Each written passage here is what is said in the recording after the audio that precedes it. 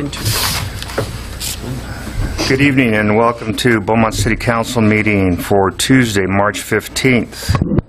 Uh, I'm going to go ahead and call closed session to order at 5:05. Can I have a roll call, please? Councilmember Orozco, Here. Councilmember Knight, Here. Councilmember Condon, Here. Mayor Pro Tem White, Here. Mayor Lara. Here. Uh, Do we, see, we don't need any excuses for absence. Uh, We got, do we have any adjustments to the closed session agenda? We do, and that would be items A, D, and G um, could be continued until uh, the 22nd, March 22nd. Everybody get that? A, D, and G? A, D, and G. A is an apple, D is in dog, and G is in golf. Or George. Okay. With that, do we have any public comment? No, Mayor. Thank you. So I will open and close public comment at uh, 5:06. And with that, we'll go ahead and adjourn to closed session. Okay, council's come back out of closed session. We'll begin, uh, we'll get the report out of closed session. Mr. Fink? Okay, the, uh, the council, uh, before going into closed session, uh, continued items A, D, and G to the March 22nd council meeting. Um,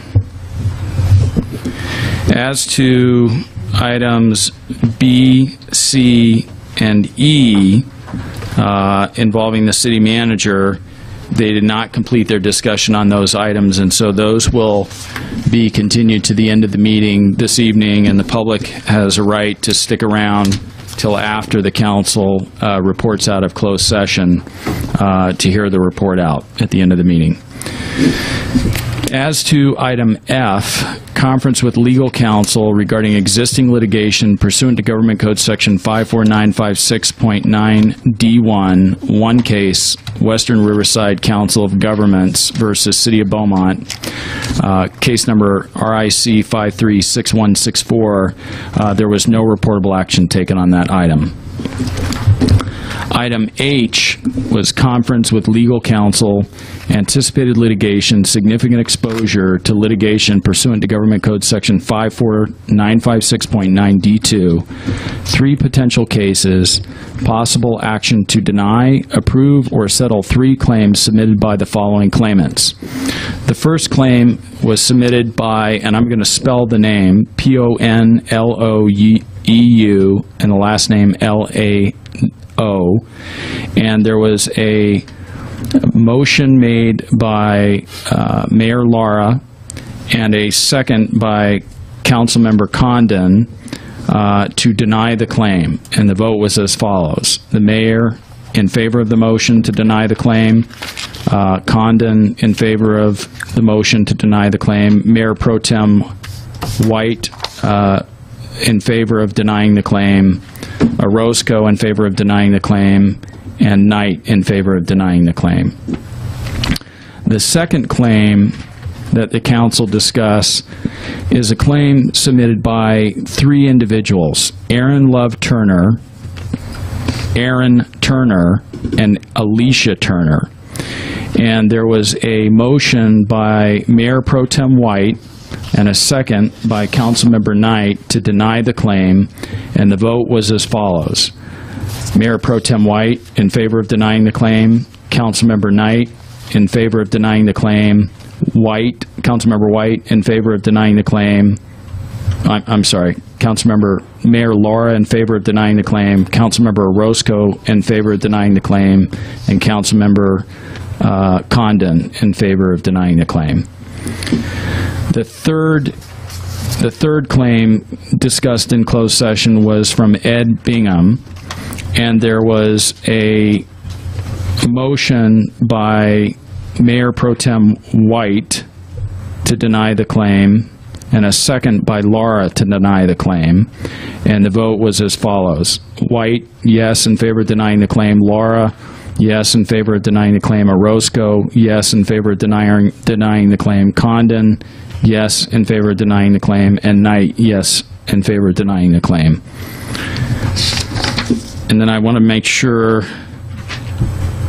that I was clear that on, uh, I mentioned the two items that, or the three items that were continued to the March 22nd, and then on items B, C, and E, there was no reportable action because it's going to be taken back up at the end of the meeting. And that's the report out from closed session.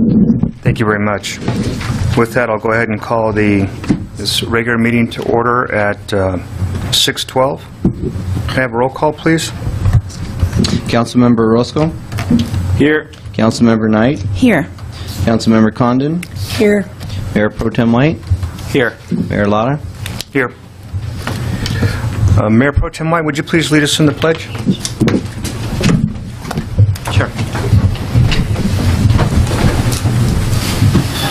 Ready? Begin. I pledge allegiance to the flag of the United States of America and to the republic for which it stands, one nation, under God, indivisible, with liberty and justice for all. This evening, we have an invocation by Rob Pedersen.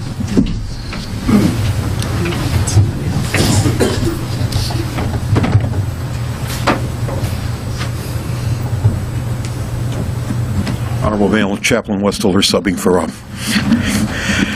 Gracious Heavenly Father, we thank you for the opportunities to meet in peace, to discuss the affairs of our community.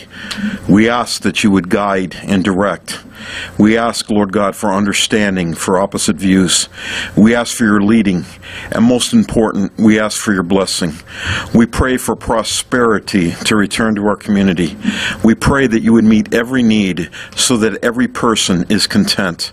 We ask your blessing on all the decisions and this council as they serve you by serving this people.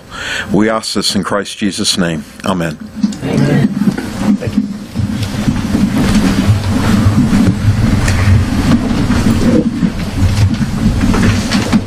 we have any adjustments to the agenda? No, Mayor. Do we have any conflict or disclosures we need to address? Any announcements or recognitions at this time? Done. So with that, um, in regards to public comment, any one person may address city council on any matter not on this agenda. If you wish to speak, please fill out a public comment form provided at the back table and give it to the city clerk. There is a three-minute limit on public comments. There will be no sharing or passing of time to another person. State law prohibits council from discussing or taking actions brought up by your comments. With that, do we have public comment? Yes, you do, Mayor. I'll go ahead and open public comment at 6:15.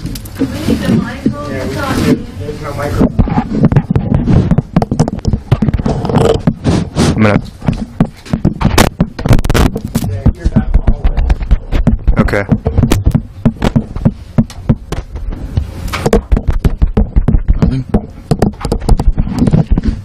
Thank you. Testing, one, two, three. So I'll just- It won't get on recording, though. Uh,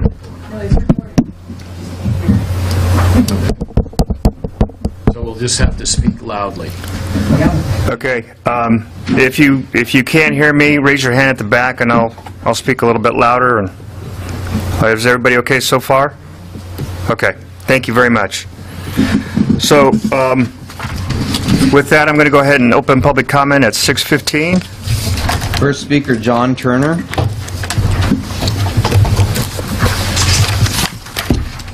Can you hear me? Yes, sir. Yes, I don't have a mic. Good evening.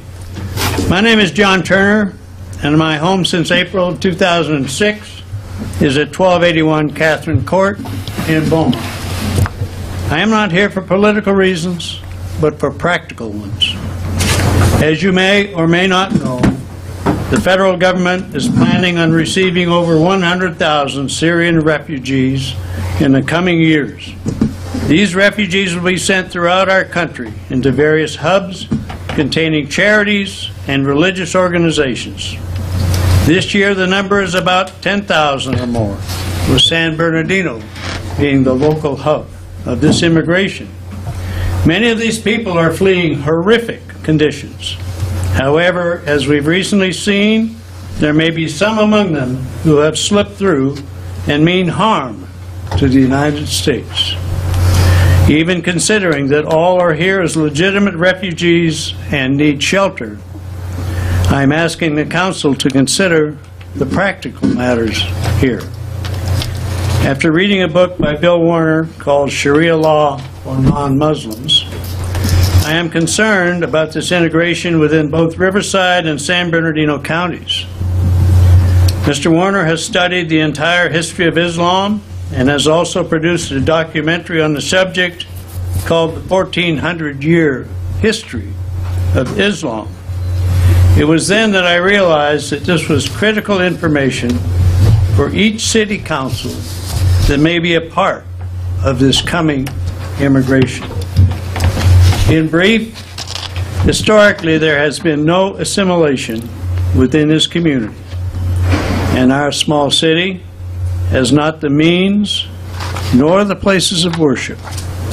The special market selling halal meats and groceries for thousands of possible refugees. And while religion is not a factor for Americans in all of this, it is, however, for those immigrating. We've seen these closed communities throughout Europe. They're called no-go zones, and no emergency people can get there. Our small city of Beaumont is encountering financial difficulties as we work ahead from the past, and this factor in our overall planning should be considered. This is why I have a packet for each member of our city council. It is the book and video I mentioned, so that you can better understand the challenges which may be ahead for us all. Thank you for your time. Thank you for your comment.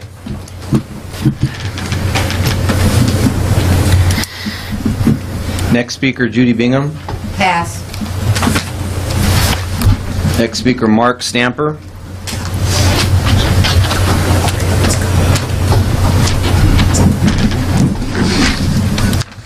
Good evening, Mr. Mayor, City Council. My name is Mark Stamper. I moved here, We're live.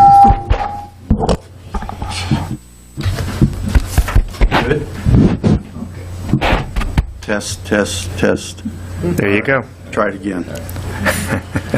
My family and myself, we moved here in 1987, up in a little uh, complex called Country Crossing. Uh, We were in the third phase there. This has been, uh, for me and my family, been the best move I've ever made in my life. Uh, My wife and my family, my kids have grown up here, have gone to school here, and have since graduated and uh, have made their homes here. Um, My intent to move out here was because I could afford a house. And so uh, I didn't know much about the town, but uh, we fell in love with the town, the citizens of this town. I'd worked construction a number of years, um, and then uh, a call upon my life to become a pastor. That was not my intent. It wasn't even on the the bucket list, if you will.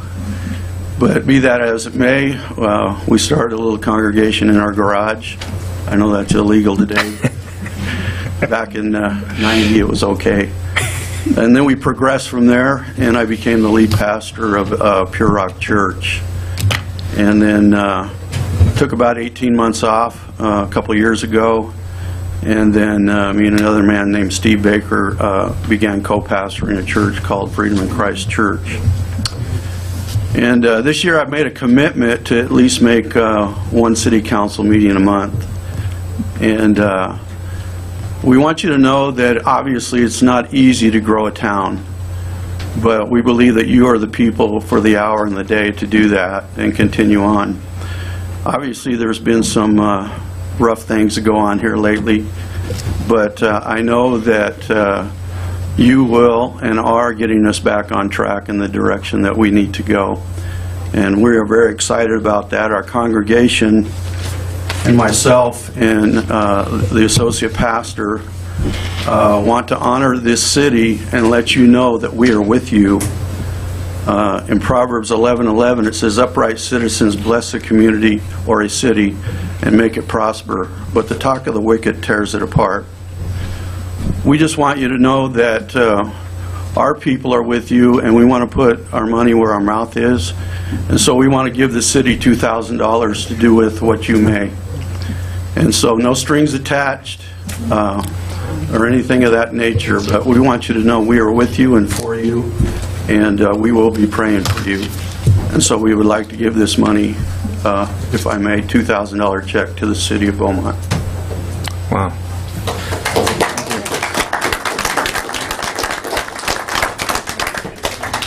Pastor Stamper, could we please get a picture with you? Are you sure you want to do that? Yeah, definitely.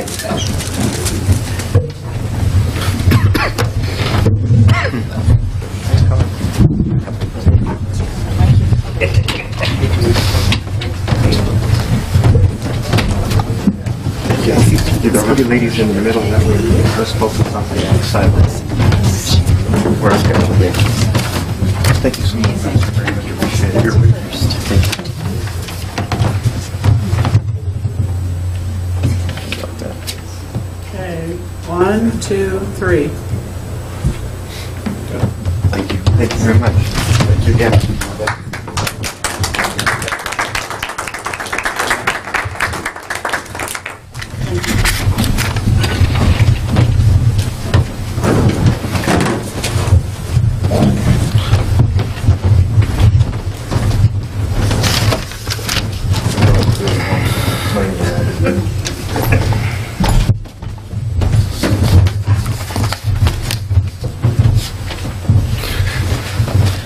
Further speakers, Mayor.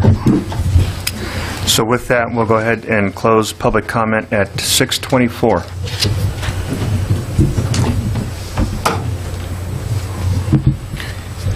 That brings us to council reports. Um, Councilmember Knight? Uh, Just quick, good evening, everyone. I attended the new Hadley's opening. I don't know if any of you have been out to the new store, but it was quite a, it was really a- an incredible event. Local Congressman Ruiz even came.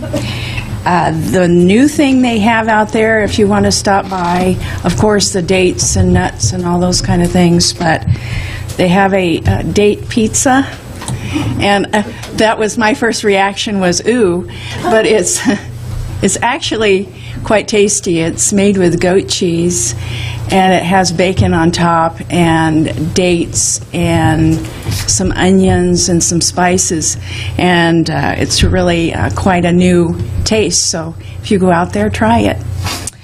And I also was very briefly, I was at the bridge uh, ceremony in Banning. We want to congratulate them uh, on that major opening out there. The, um, also with the um, the tracks, the, there's a bypass there that they've been working on. It's been in the progress for 20 years, and so it's a major accomplishment, and I want to congratulate them and wish them well, and when our street from Highland Springs go through, it'll make life easier for all of us. And then I did receive a call from Mayor Hewitt from the city of Calimesa with a thanks for our council and uh, Mayor, he must not have been able to get a hold of you, uh, on behalf of expanding our Pass Transit to Calimesa and moving forward on that. Thank you, Mr. Mayor. Thank you very much. Councilmember Orozco? Uh, nothing, uh, none at this moment. Councilmember Condon? I just have a few words to share. I just uh, would like the pastor to know how very touched I know we all are. Um, This is, um, it reminds me, I guess the scripture says, by their acts ye shall know them. Having been the uh, daughter of a preacher, I know how short money uh, can be in a small-town church. So truly, the money that you dedicated to the city uh, didn't come out of the largesse of your budgets. It came out of your heart, and um, that's a really special thing. Sometimes when someone else has spilled the Kool-Aid and you're the one with the mop, people can forget that you're the one trying to mop it up. And uh, so uh, I thank you so much for that gesture. I'm truly touched. Thank you. Council- uh, Mayor Pro Tem White. Yes, I just want to report, um, we attended the uh, joint meeting between the Pass Water Agency and the water districts last week.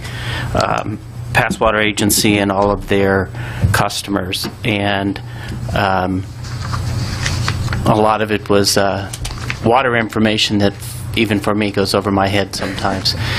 But I think it was another positive step that was started last year when we asked the water districts to sit down with us and bring three of the um, governing agencies together. And then this was um, just another step in the right direction of all the agencies trying to work out their differences um, by talking as opposed to um, writing laws and suing people. So I think it was a great step, and I just wanted to report on that. Thanks. Thank you very much.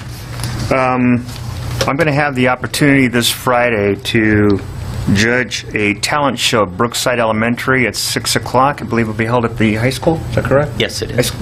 So, in case you're interested or you want to see some fine young talent in this town, uh, it'll be there at 6 o'clock at the high school theater. And that's all I have to report. No charge. Ah, even better. Uh, That brings us to the city treasurer report.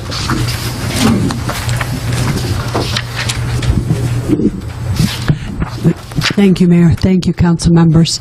Um, Could you pull up the treasurer's report, would you please? I couldn't get it on the internet. Um, The treasurer's report would be before that presentation, if you would, Liz. Yeah. I have a very brief presentation as to the um, CMTA application that is included in tonight.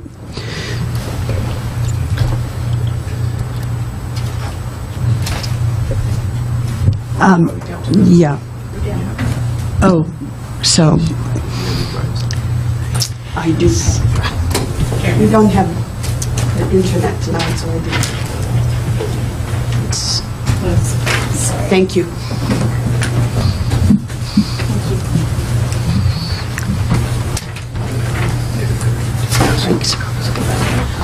Sorry about that. Um, The warrants have been reviewed. I did get some questions, and they've all been addressed in my weekly meeting with city staff. Um, And there was, uh, they were all appropriate, and everything was um, authorized appropriately. And there was backup documentation for everything that was on the warrant list. Um, this, tonight, I've actually uh, submitted to go to the Certified Municipal Treasurers Association um, annual meeting, and um, I do know that my expense for the travel is included uh, later on in the agenda items. So, but I'd like to give you a little bit of discussion about it first and um, what I'm trying to accomplish with the uh, Certified Municipal Treasurers Association. When I was first elected, um, in December, actually, of 2014, um, our city manager at that time asked me to do a presentation on what I thought the treasurer's role was. And uh, I sort of flexed it out a little bit. And one of the things that I included in that presentation was that I wanted to join the Certified Municipal Treasurers Association and become certified for the city of Beaumont because I thought that would do multiple things.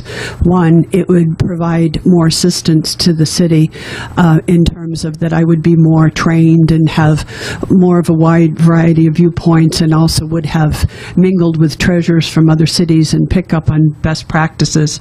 But also, I thought it would be a good statement for the city to say that we were actually um, trying to do all the checks and balances that we could put in place as quickly as possible. So when I did that in January of 2015, I applied for a scholarship for some training at that time with the Certified Municipal Treasurers Association. And they gave me a scholarship. I uh, wrote them a letter and told them that we could not afford to embark on this without some assistance, and they were very generous. And I did some training uh, that I may be able to apply to one of the certifications. I'm not sure if I'll be able to apply it to both. Um, At this particular annual meeting, if, uh, the um, certified municipal treasurers, if you don't know what they are, they were founded in 1958 by a group of treasurers in California who wanted to put in place best practices. And their mission is uh, to lead in promoting and enhancing the fiduciary responsibility and integrity of any individual that's um, responsible for public funds. So um, it has a number of things that they're trying. This is their list of their code of ethics, where it, it talks about um, dedicating themselves to good relationships, following judicial procedures and changes in the law, and always complying with whatever the requirements are from the state. Thank you, Liz, if you go on. And one of the things that they do is they have two different certifications programs. The CTC, I actually may already qualify for. I've, the person's out all week, and so I'm still waiting to hear back on my uh, prior training to see if it can be applied to that. And um, I fit in the category, so I went ahead and, and started the research on whether I can put the paperwork in. Next one. And the higher level is actually to be a certified municipal treasurer. And um, some of the things that they do are they help cities, they're extended resources, so to speak, for cities. They help in RFP development. They specifically have training and sessions on banking RFP development, investment training, bond reporting and requirements, financial and organizational risk, internal controls, best practices that they share among the group, and also legal updates and what that means to the city. So um, while all of it isn't something we can swallow all at once, I'm trying to network and assimilate as much of this information as I can. To that end, go ahead. The, um, if you'd skip one more. Thank you. The agenda highlights, I have the printed out agenda. It's long. It's really long. And it gives everybody's name, who's doing everything. So what I did is I tried to summarize some of the highlights that are going to be in this um, uh, coming session. And there's a treasurer's roundtable discussion, which is really a good way of sharing and asking questions and also networking among the treasurers. There's also panel discussions at this particular session on bonds and continuing disclosure. There's PCI compliance related to banking, fraud, and internal controls. There's a cash flow panel discussion, and there's a seminar on banking. There are other things too, and not so many of the other things really even relate to what we're doing because a lot of it is on um, advanced investing, and we don't have a big pot to invest in. So um, some of that doesn't apply so much. I uh, applied again for another scholarship. They gave me a scholarship again for the registration fee, even though they gave me one just last year, which I was surprised at. Um, the uh, full registration fee is normally $460. Um, they actually squeeze in with an early bird, so basically the dollar value of that was only $305. So most of the expenses are in travel. Um, it's going to be a heavy-duty seminar. It's not a play trip. Um, you're going to be discussing a lot of boring topics all day long, and some of the things will apply and some of them won't. But um, I went ahead and applied to uh, to go, and you'll see that uh, travel request later on. So um, I just wanted to give you background for when it comes and ask any questions that you would like at that particular time. The Standing Financial Committee met on 3/7. At the meeting, the following was discussed and approved. We went through the RFP for trustee services. We had some discussions, a few additions that we thought would enhance the RFP that was given to staff. And um, staff is just running with our input, and they'll bring it forward to you for uh, your review. We officially removed Rebecca Carr from the committee because she moved. We moved Sean Belinget's position in as a sitting committee member. Uh, We request um, city staff to put on the website a request for more alternate members so that we can have some backup to go to should anything happen and we lose another member. And then uh, some of the items for the future meeting were discussed, and one of them is to actually discuss the financial policies that were presented to us uh, by staff so that staff can uh, move forward with it. So that will be on the agenda. Um, We did discuss what the role of alternate members were because it was unclear um, specifically whether they had to attend meetings or what they did. And so we brought that to the next meeting so that we could actually um, have a real discussion on it um, where it's agendized pr- appropriately. And then um, we did discuss an ongoing agenda item that we keep on the agenda where we discuss whatever, as follow-up, whatever happened in city council on financial issues. So we could bring it in as an agenda item for proper discussion. So that's my report. Thank you very much. That brings us to item number four, action item, public hearing request. Uh, Item A, update and possible legal action regarding production of bond reconciliation documents by Union Bank pursuant to legislative subpoena issued on March 1st, 2016. Mr. Mayor, members of the council, as part of the city council's investigation and reconciliation of prior use of bond funds, on March 1, uh, the council voted to issue subpoenas authorizing the mayor to execute subpoenas directed at Union Bank compelling production of bond requisition documents. Um, The subpoena was signed by the mayor that evening, and the subpoena was then sent out for service the next morning and was actually served on Union Bank the very next morning after the council meeting. Uh, Once Union Bank received the subpoena, uh, the matter was assigned to a senior attorney at Union Bank by the name of Joe Catalano. Uh, He contacted me in response to the subpoena, and uh, he made very clear from the outset that Union Bank would comply with the subpoena, and Mr. Catalano cooperated in producing the documents that were identified in the subpoena issued by this council. Um, he indicated, Mr. Catalano indicated that they, they had some documents and then uh, other documents would have to be pulled from storage. And that it was going to take upwards of six weeks for the bank to pull the documents, review them, copy them, and then produce them. And then, of course, the city would be responsible for paying the cost of that, of the, of the copying. Um, So we discussed an alternative approach uh, that we recommended, which was to have a copy service go to Union Bank's offices in downtown Los Angeles, have Union Bank just bring the documents in, and have our copy service go ahead and scan the documents digitally right there in their offices. And by doing that, uh, we were able to significantly expedite the production of documents. Um, The copy service went to Union Bank's offices on March 9th and 10th, and uh, they scanned the documents that were provided by Union Bank. It was approximately nine boxes of documents. Uh, We did not make hard copies, we only made digital copies. Uh, The, the files on a, on a thumb drive were delivered to us in digital format on Friday of last week. Uh, It was a- somewhere between 14,000 and 15,000 pages of documents uh, that were produced by Union Bank. Um, Now, these documents contain confidential uh, account numbers, uh, people's account numbers, companies' account numbers, and so uh, the responsible uh, thing to do uh, is to go in and remove those or redact those account numbers. So we had to, we had to review all 14 to 15,000 pages of documents since last Friday. We've done it as quickly as we possibly could, uh, and we we converted them to a searchable format. And so we went through and, and redacted all the account numbers, and there were some tax ID numbers that we also redacted.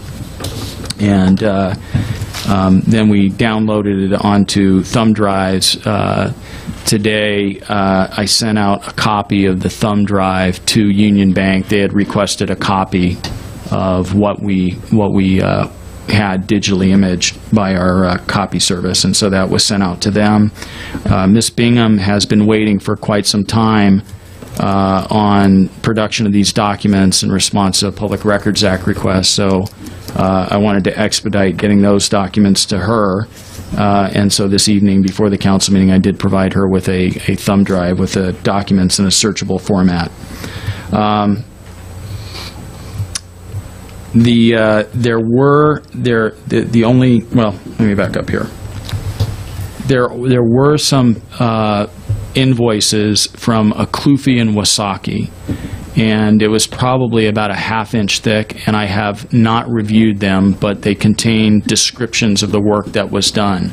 And I don't know if that work was done for the city or if it was done for somebody else, but I did pull the legal bills. I'm going to redact the time entries, which are privileged, and then we'll produce those separately, and that's about a half inch of documents. But since last Friday, there just wasn't enough time to go through all 15,000 pages. Uh, I think had we, you know, given this task to the city staff with the workload that they already have, trying to fit that in between doing their regular job would have probably taken weeks and weeks, if not longer. Uh, They would have had to print the documents out, redact them as we did before, and then scan them uh, back in the system to produce them digitally. So we, the approach that we took, I think, was, uh, was very fast, and uh, it was probably the, the most expeditious way to, to get these documents completed. Uh, The city manager has a copy of the thumb drive, and so those documents will be made available publicly. Uh, The press enterprise has asked for a copy of the documents, and so I'm going to go ahead and send a copy to them as well, so that they have a copy. They, they made a Public Records Act request as well. So we, uh, we have that task completed, and uh, we will provide a copy of those documents to Urban Futures as part of your investigation into how bond funds were used. Uh, You've uh, hired Urban Futures to perform a reconciliation, and these documents were critical to them in their reconciliation process. They couldn't finish their review uh, and report until uh, they had these documents, so we now have them. And then on the next item, I'll wait till we get to it, but there are some additional documents that they're looking for, and so we may need uh, to revisit the idea of a subpoena. It was very effective in, in this particular case, and so we may need to utilize that uh, tool again to aid you in your investigation into the use of bond proceeds. Thank you very much. That brings us to item 4B. I'm sorry, let me back up. Do we have, uh, do we have any public comment? Now or B? Oh, you have a 4A. You want to I do? do, you want to move it to B? Yes. Okay. Okay, No, do Mayor. we have no other speakers? Okay, what I'll do is open and close public comment at 6:44. Do we have any questions or comments from council in regards to 4A? No, I move to receive and file. Just one, one last comment. Um, We, uh, we have reviewed the documents to redact account numbers. Um, And the account numbers were all over the place in the document, so it was a pretty time-consuming task, and we had very little time. We wanted to get it done quick, so it we time to complete that. But what we haven't done is done a review to determine whether there are missing documents or documents that we requested that haven't been produced by Union Bank. Um, I do believe the attorney that is now working on this for Union Bank has been very professional, very cooperative. Um, I do believe that uh, now that we're working with Mr. Catalano, uh, that if documents are missing, uh, that they'll produce them. Um, But, uh, you know, if there is a problem and uh, we have a disagreement over documents that we didn't get that we requested, and I'm not saying that happened, uh, we just don't know yet. We haven't reviewed it substantively yet. But um, I'll first approach Mr. Catalano and try to get those by, through a cooperative effort. But if there's a disagreement and we need to, we may come back to you and, uh, and ask you to uh, well, we may just reserve the subpoenas and, and set a new date. Um, So I'll keep you posted as that, as that proceeds, and if we, if we need further assistance from the council or further direction from the council, we'll come back to you and, and seek that. Okay. Mayor, if I could, do- I have one question. Um, For the city attorney, is it, could I have a thumb drive of that also? You can't. I delivered one to the city manager today, and so I believe that she's going to put those online. They'll be uploaded to the, They'll be uploaded to the transparency portal. Uh, Could I have a thumb drive? you can. Thank you. Mayor, I'd like to add that the, um, at the direction of council, a letter was sent to the district attorney's office with a copy of the subpoena, and that was directed at the last council meeting. Thank you. Mayor, I do have a question. Sure. Um, I think you spoke to the cooperation we are having with Union Bank regarding um, legal documents, um, correct? Well, we, we subpoenaed uh, documents that relate to the expenditure of bond funds, and uh, we def- we defined and described the documents that we were requesting. They've said, here's the documents that you've requested. Uh, We haven't gone through to confirm that everything's there yet. Um, That process will begin now. Uh, And Michael Busch and his team haven't gone through and had an opportunity to assess what's there, what's not there, whether they need more. My impression is that this individual that we're working with, Mr. Catalano, will honor the subpoena, that he will produce documents if something was missed. Um, But uh, if I need further uh, assistance from the council, you know, I may come back to you and, and suggest that you issue another subpoena with a new production date for those additional documents. I'm not aware that that's going to be necessary. What I'm asking about is the um, privilege um, um, relationship of some of the documents, and can you just speak to that? I had a paralegal in my office print out the documents that were billing records from uh, law firms, and that's, these are the documents from the law firm. And so when you go through these records, th- some of them appear to be from law firms that were serving, uh, providing some sort of legal services in connection with bond issuances, and so they're pretty cryptic entries of what they did, and then it sets forth what they charge.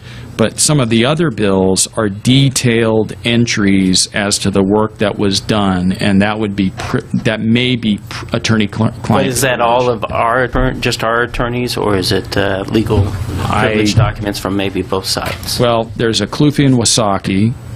Uh, there's a f- law firm named Simon, Larson, and Marsh out of Irvine, California. There is the law offices of Samuel Norber from Beverly Hills.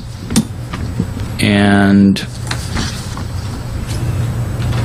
so I don't, I don't know who those law firms worked for.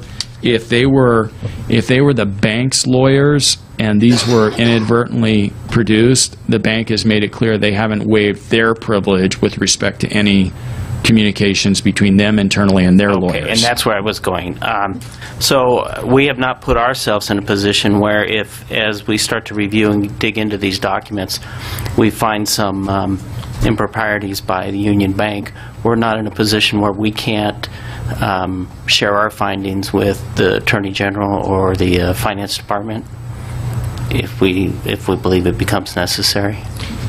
Um, if, if we, if we believe that there was something that called for reporting it to the AG, we can always do that. Okay. Um, But if it's a, you know, we're speaking of hypotheticals now. Mo- Mostly what's here are law, are No, I'm not talking about the privileged documents. I'm talking about in general, the, all of the in general, if the, if the city, you know, there, there, the FBI came into the city and they served search warrants and they removed documents from the city. The district attorney, uh, that was part of a joint task force. Uh, the district attorney also came in and served search warrants and removed documents. And I can't speak to what they are doing, but presumably you've got the strongest law enforcement agency in the federal government and the, the district attorney that have come in and exercised their powers with a We're a- court-ordered. We're sharing a thumb drive with the uh, DA as well? We, we will do that. Okay. We will do that. Okay, thank you. We had a motion? Yes, Sir, receive and file. Do we get a second? Item E. I'll second it. Okay, I have a motion by Knight and a second by White to receive and file. Take roll call. Council members Orozco, Aye. Knight, Yes. Condon, Yes. Mayor Pro Tem White, Yes. Mayor Lara. Aye. That brings us to item 4B, a resolution authorizing the issuance of subpoenas compelling the appearance and testimony of witnesses and production of documents related to city's investigation into the use of bond proceeds. Your Honor, members of the council, as you, again, as you're aware, the city council continues with its investigation into the past use of bond proceeds and to further, in furtherance of this investigation and the reconciliation effort regarding the use of those proceeds and, and city funds, information is needed related to past use and expenditure of bond proceeds. Urban Futures has indicated to us, uh, as they're doing their work on your behalf, uh, doing the, the physical reconciliation, uh, that they require information from BNY Mellon Bank in connection with uh, reconciliation activities. Uh, BNY Mellon acquired Bank of New York, which was the trustee of the 1993 sewer and 1996A bonds, and a portion of the 1994 AB bonds. They've requested bond requisition and supporting documents from BY, BNY Mellon, and uh, I'm not suggesting that BNY Mellon has been uncooperative in any way. In fact, to the contrary, my understanding is they're in communication with the folks at Urban Futures, uh, but we're now up against a timeline. Uh, As you recall, um, you've been receiving these reports from Urban Futures in re- in regard to the progress that they're making on their reconciliation work for you. And uh, I believe they've indicated when they think they're going to have this done or want to have it done. They initially had a six-month time period that they, they wanted to complete this by. The community is waiting for answers in terms of how these funds were, pro- were used. The council uh, has indicated its uh, desire and intent to seek this information. And so in order to avoid any delay that might occur along the lines of what occurred the last time we asked the bank for documents, um, it might be prudent for the council to consider issuing a subpoena uh, to BNY Mellon uh, for uh, documents that relate to the expenditure of bond funds. And so we prepared a sample subpoena uh, that's in your packet, uh, very similar to one that was used with Union Bank, and it would order the person to appear. Probably uh, the date would be in April sometime. In addition to that, uh, as you recall, when when Michael Busch spoke to you the, the last time about the work that his office was doing on your behalf uh, in in furtherance of your investigation, he indicated that there are situations where there will be a requisition that's submitted to the bank for payment out of bond proceeds. There will then be a corresponding invoice from a contractor, and it may contain one line that says, "For services rendered X dollars," without any backup documentation. And it may be that the banks uh, don't have any of the backup materials, and that those materials are with the contractors or the individuals that were providing services to the city. Now, three of the individuals uh, that were doing a great deal of work and were paid large sums of money through their company, Urban Logic, were uh, Deepak Moorjani, Dave Dillon, Ernie Eggers, and there may be other contractors that receive significant funds uh, out of these CFD accounts through their through their companies, and those individuals may be in possession of documents that would aid the city council in its investigation into how bond proceeds were used, what they were spent on, uh, what work was done, uh, what was built uh, with those proceeds, so that you can internally uh, determine how the funds were, were used, uh, determine whether uh, legislation is needed to change how this process works in the future, and also to provide answers to, to the community about how these funds were, uh, were used. And uh, so in light of that, um, I, I place this to the council for consideration. Um, whether it is interested in issuing subpoenas to BNY Mellon, Deepak Moorjani, David Dillon, Ernie Eggers, and uh, authorize the mayor to execute subpoenas to those individuals to to aid in your investigation. Thank you. Do we have any speakers? Yes, Mayor. Okay, with that, I'll go ahead and open up public comment at 6:57. Judy Bingham?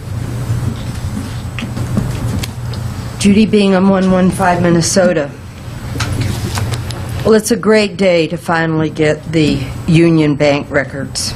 Six months to get public records is unbelievable and unacceptable. And I was patient to a point. We also have in a, a request for the four bonds that council approved just last year. But the city has not produced those requisitions. And I know that only 60% of the requisitions were produced, and I'm wondering where, when those are coming. Um,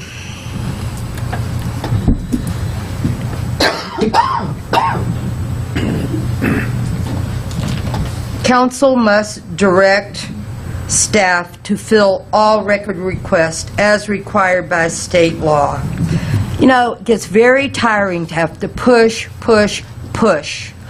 I have been doing this for 11 years now, and I'm getting pretty tired of it. Three years of trying to get public records from the other group that left you know, please, you have to give us our records.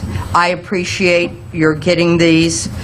Um, I explained to Nicole, um, the deputy city clerk, you know, I've lived through all this, so uh, when Mr. Alward talked about, uh, I asked for uh, the Union Bank records, and Mr. Alward told me that they would they would it would cost me like $2,000 and then I asked for because they didn't have them digitally. And here we still have staff talking about boxes of records. Now that is very infuriating because I've been through that before and they're lies. So I appreciate a digital version. Uh, we asked for a photograph of the box that those records came in. And then eventually I did get some digital records. Um, so, I will see what's there and what's missing. Thank you. Thank you very much for your comment. No other speakers, Mayor. No other speakers. With that, I'll go ahead and close public comment at 6:59. That brings us to item C, employee agreement for chief of, I'm sorry. Don't we need to do something? Yeah, that's an action item. Oh, I'm sorry. 4B. We have a, a motion or comment from council? No comment, I'd just like to make the motion. There's, there's a resolution that's in your packet, uh, a resolution of the city council authorizing the issuance of subpoenas and compelling the appearance and testimony of witnesses and production documents related to the city's investigation into the use of bond proceeds. And is this um, uh, authorizing specifically the people that are named in the staff report, or is it for the others that you listed in the staff It's, report? uh, if you look at the resolution, page number two, it states that uh, the council finds and determines that the foregoing recitals are true and correct. Paragraph two, uh, you direct that you issue the individual legislative subpoenas to BNY Mellon Bank, Deepak Moorjani, David Dillon, Ernie Eggers, and their officers, agents, and employees, compelling the subpoenaed parties to appear before the council, the city council under oath and to produce documents and evidence to aid the city council in its ongoing investi- investigation into the use of city funds and bond, bond proceeds. Um, And then the other contractors you mentioned earlier, those would, you would have to come back to us again for, if they're not part of that, agencies and et cetera, for, It's not, it's not meant to be an exhaustive list, but as you move forward with your investigation of the use of bond proceeds, if it's determined that this, the intent of this is to find out if these witnesses have backup information or documents in terms of how funds were used. If, if we have just an invoice that's a one-line invoice for $100,000 hypothetically, and there's no backup for it, uh, then the witnesses may be able to provide some clarity in terms of what backup exists. Do they have any? Um, And if they do, to produce it to aid you in your investigation.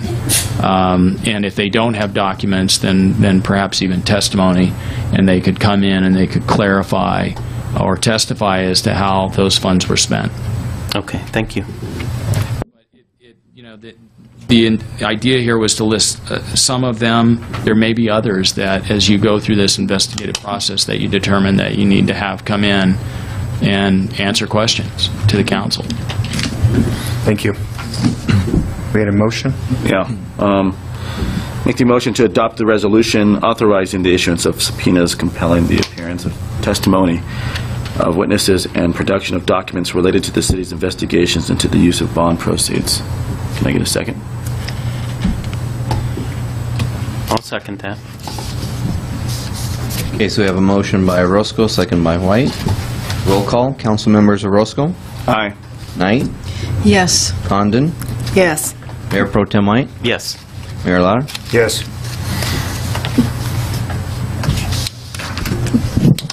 Okay, try it again. That brings us to item 4C, employment agreement for chief of police. Thank you, Mayor. On July 3rd, I appointed Commander Sean Thuilliez to interim police chief, and this was done after the retirement of the former police chief. Chief, Deli- interim Chief Thuilliez has provided exemplary service to the city of Beaumont, I almost said Montana, to the Beaumont Police Department and to the residents of the community. The interim police chief is desirous to continue to serve in the police department as the chief of police, and I believe that this organization and the community share in that. Interim Chief Thuilliez and I have negotiated an employment agreement effective today, subject to ratification by the city council, and upon the city council's approval, the mayor will execute the employment agreement as set forth, that sets forth the terms and conditions of the employment. Sufficient funds are available in the general fund budget to implement the employment agreement. The contract provides for an annual, fully loaded fiscal impact of 273,000, which is in line with the adopted salary range for chief of police, to be paid out of the budget of the police department 2050 personnel costs.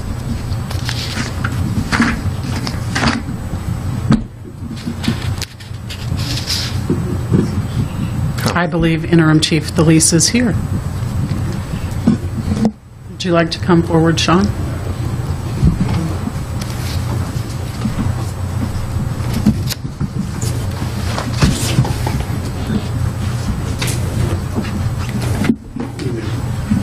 Have to agree with everything the city manager said.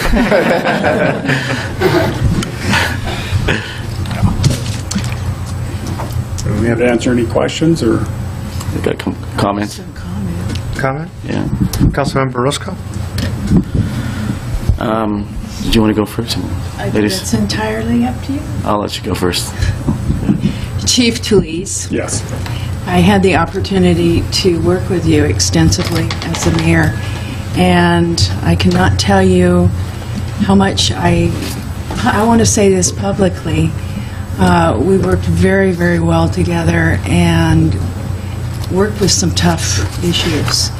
And you handled yourself like I want my kids as officers to, to, to handle themselves.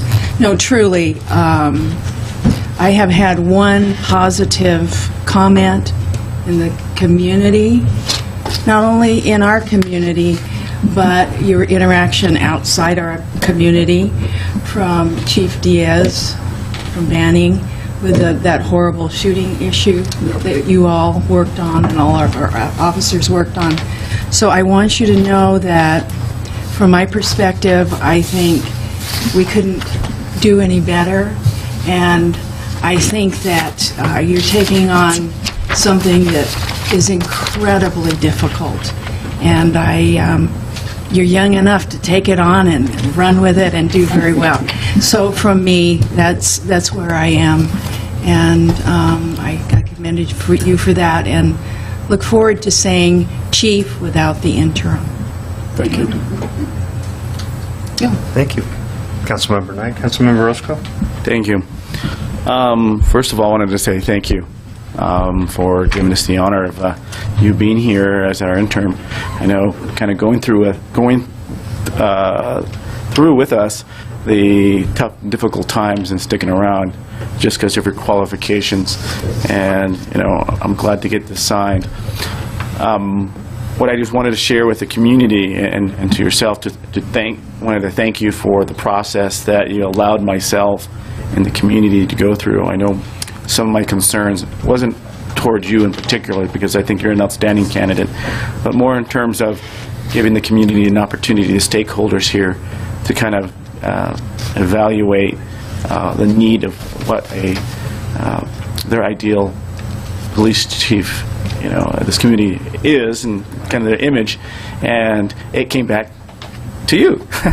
so you fit that, and and and uh, this, the key stakeholders all felt gave positive. I wanted to share this with the council and um, to the community here that it was all positive um, uh, in terms of what you've done so far for our community and what you do here, um, how you're totally invested in this community, and we appreciate that.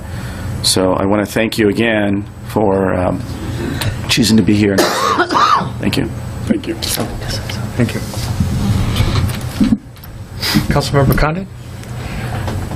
Um, I want to commend Elizabeth for her foresight in uh, putting you in that position in the beginning when there was lots of chaos around. Uh, the wrong choice would have been disastrous. And I think you can tell there's a theme up here that we feel very fortunate to have a candidate such as, as yourself. Um, and I totally support this contract. I want you to know, however, I did have one concern, and that is that you are an at-will employee. And I think you've got a good employee. Um, You need to give them a little more job security than that. However, we are looking at hiring a new um, city manager. And that city manager needs some room to make sure that there are people that he, or she can work with. However, I can tell you, I think it's going to become very evident to any new city manager that we really like and we really support our police chief and that they best get along with you. Uh, The um, last comment I would make is that I would hope to see, as a citizen of Beaumont, as time goes on, that you move out of the at-will uh, category of police chief. I think when you, after, when you've proved yourself, I think anyone deserves that. Um, the last point was I, I did a lot of research. I called John Jay and talked to a professor there and looked at the pros and cons of having one person have the authority over the police chief.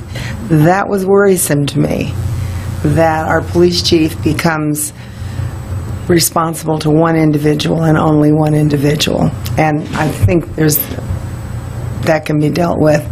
But I found it goes both ways. In different cities, it's done some uh, that way, and others, uh, they are an at-will employee. So with that said, I want to know, I want you to know how much I support your hire. Thank you. Thank you. And Mayor Pro Tem White. Hi, Chief. Um, I too want to echo everything we've heard about the community support for you, and we hear it all the time. But there is something different that we hear that we haven't heard in Beaumont in a long time, and that is the respect and support of your men. And for me, that was um, the proof to me that that uh, you are definitely um, the right person for this job. is something that we, before you were um, made interim chief, it was something that we did not have in Beaumont, in my opinion. And so, um, with the respect and the support of your men, I th- hope you're going to be here a long time. Thank you. Thank you. Well, Chief Thuilliez, what can you say that hasn't already been covered? Um, The fact that you do have the, the support and respect of your men um, holds a lot of, a lot of weight with me as well. Um, You're a true leader. Uh, I've enjoyed our conversations as well. Um, I think we're very lucky to have you, and I look forward to working with you closely. And uh, with that, uh, do we have... motion? I'm sorry. Well, do we have public comment? Uh, no, Thank- Mayor. Thank you very much, Chief. I move that we uh, approve the contract. I'll second. The motion was by, Who made the motion? I did. Councilmember White, uh, Mayor Pro Tem White. and the second by, Myself. all right, so our motion by White, second by Mayor Lara. Roll call. Council members Orozco? Aye. Knight? Definitely. Condon? 100% yes. Mayor Pro Tem White? Yes. Mayor Lara? Yes. Thank you, Mayor. Thank you very much.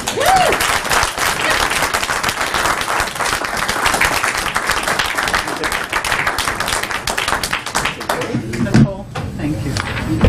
Mike, you take a photo? The chief and council? Yeah. Mayor and council, I'd like to get a picture of our new chief, and his family is here. Um, And for the record, at some point, I will swear him in, however, he is at a conference this week. Okay. Um, And we will announce that so that the public can attend. So next week, maybe, sometime. So you're going to have a special ceremony swearing in? Yes. Is that- Did I understand that correctly? Yes. Woo! Yes.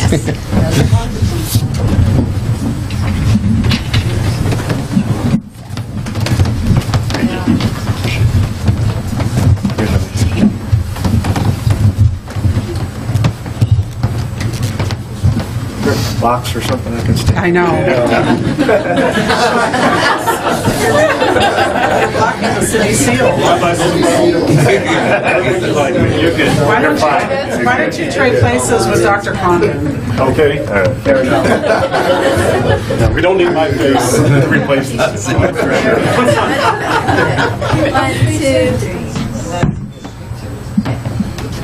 Would you like a picture with your family? Yes, absolutely.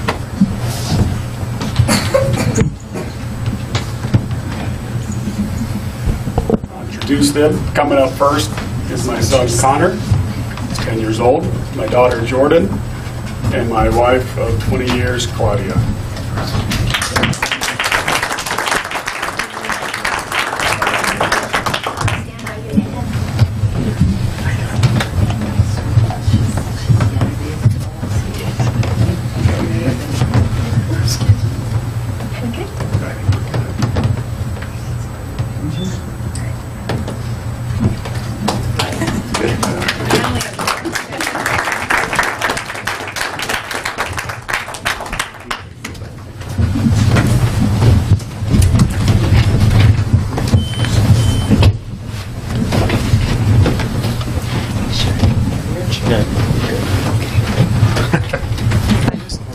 Just wanted to share that I congratulated Claudia because she truly is the, uh, the one that needs the congratulations. in my opinion.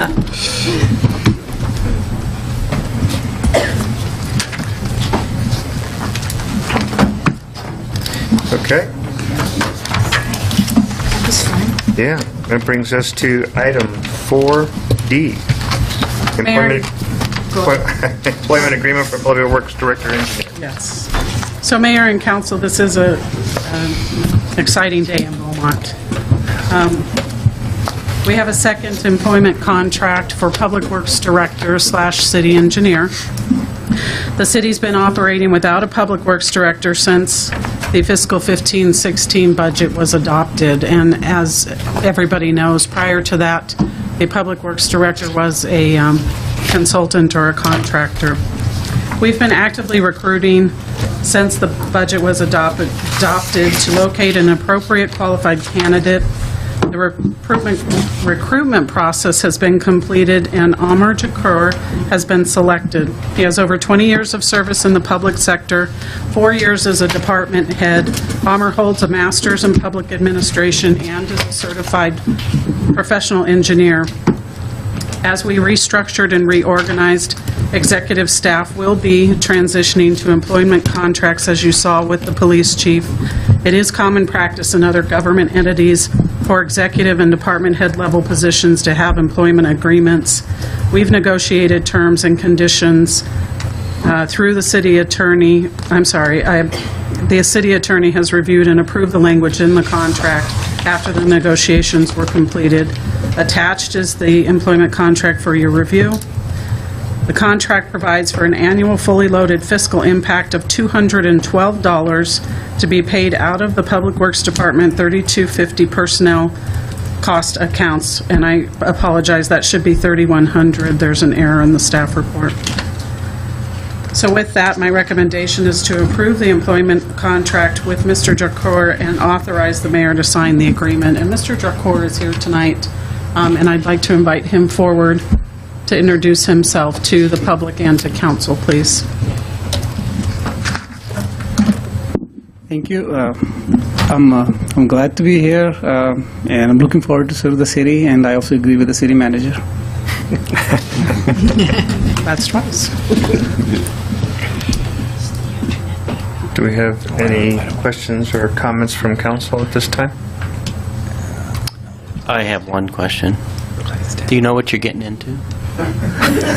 I was I was told repeatedly. We didn't, we didn't scare him away. Okay. Because moving forward, our Public Works Director is going to be extremely important for us. We have some huge issues, as I'm sure you already know, with the wastewater treatment plant, recycled water, and um, not to mention a number of other things. So um, I just wanted to um, say that I, too, think it's a great day. We finally have a Public Works Director as an employee. Well, we, we may, but I'm hoping we do. Thank you. Any other comments? from council? Any public Do we have any public comment? For yes, we do, Mayor. Okay. With that, I'm going to go ahead and open public comment at 7:18. Judy Bingham? Judy Bingham, 115 Minnesota. Council has a duty to hire a Public Works Director with a spotless record, since the sewer plant is the focus of the corruption in Beaumont. We need an honest Public Works Director to assess what we actually have instead of the so-called state-of-the-art wastewater treatment plant we have heard about for years but never saw evidence of. I, I um, left a printout from the San Bernardino County Sentinel for all of you, uh, and from the 30 Miles of Corruption website. I'd like to read this. June 3rd, Col- Colton Council meeting, at which a decision was made to place City Manager Stephen Compton on administrative leave. This was as a result of Compton's in- inquiry with reference to questionable financial practices, including off-the-book projects in public, in Public Works Department, which led him very close to uncovering details of how certain projects were funded, including some, several unauthorized projects which were being run out of the Public Works Department. This, of course, brought scrutiny, according to the article, towards the actions of Public Works Director Amer Jakher, who enjoyed a close relationship with a majority of the city council. As the focus pointed to Jakher, some council members were pushing Compton to examine the city's contracts with Best Best and Krieger and Tally and potentially put the contract for city legal services out to bid. You know, we find these things on the internet. I hope you investigated fully. Thank you for your comment. Do we have any other No, Mayor. requests to speak? With that, I'll go ahead and close public comment at 7:21. Mayor, I'd like to make a comment. Mayor Pro Tem White. Um, I too did a lot of work on and on the Google, and- and I found this as well. And um, you know, one thing that's important when you are using the internet as your source is not only what you find, but what you don't find.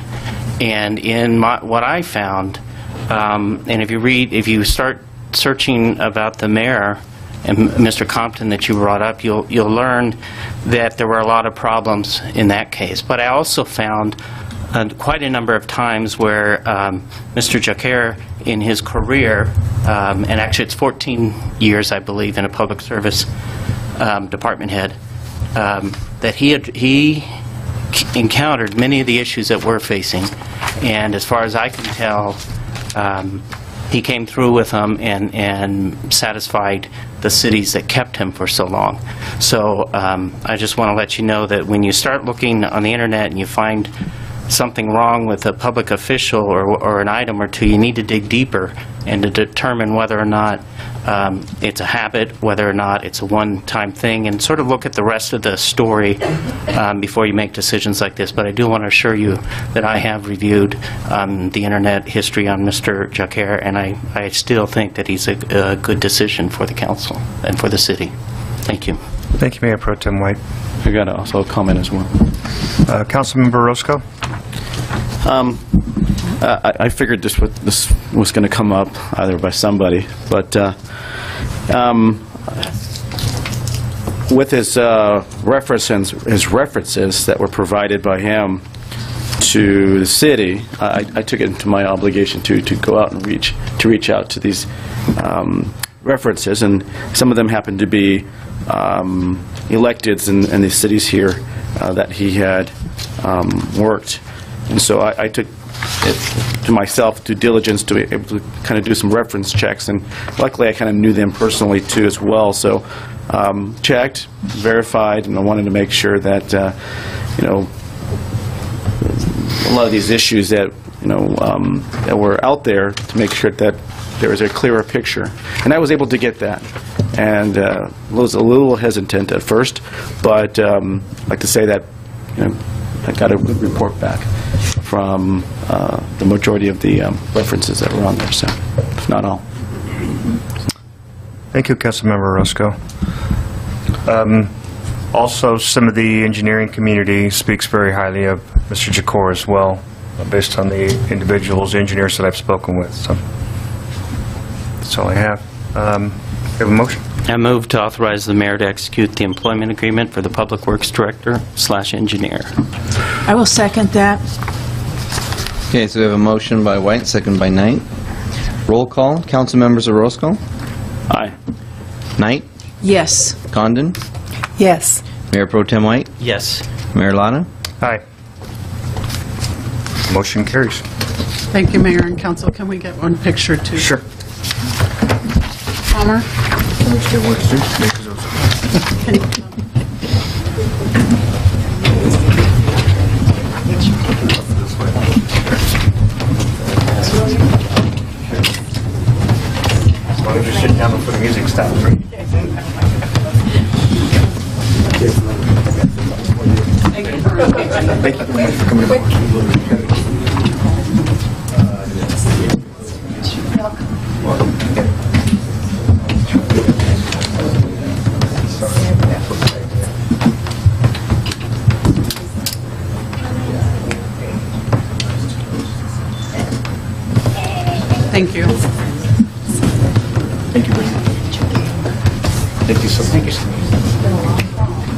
So your desk is ready. Stack of projects all ready to go. Thank you. Good job. Is he working late tonight? I know. Well, I told him his desk was ready. First thing tomorrow morning, expect you all. Good work, Mr. Tiaga. Thank you. It's a good feeling.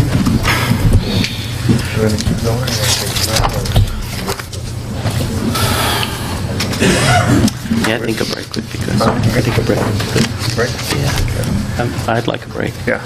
We're good. We're going to go ahead and take a five-minute recess.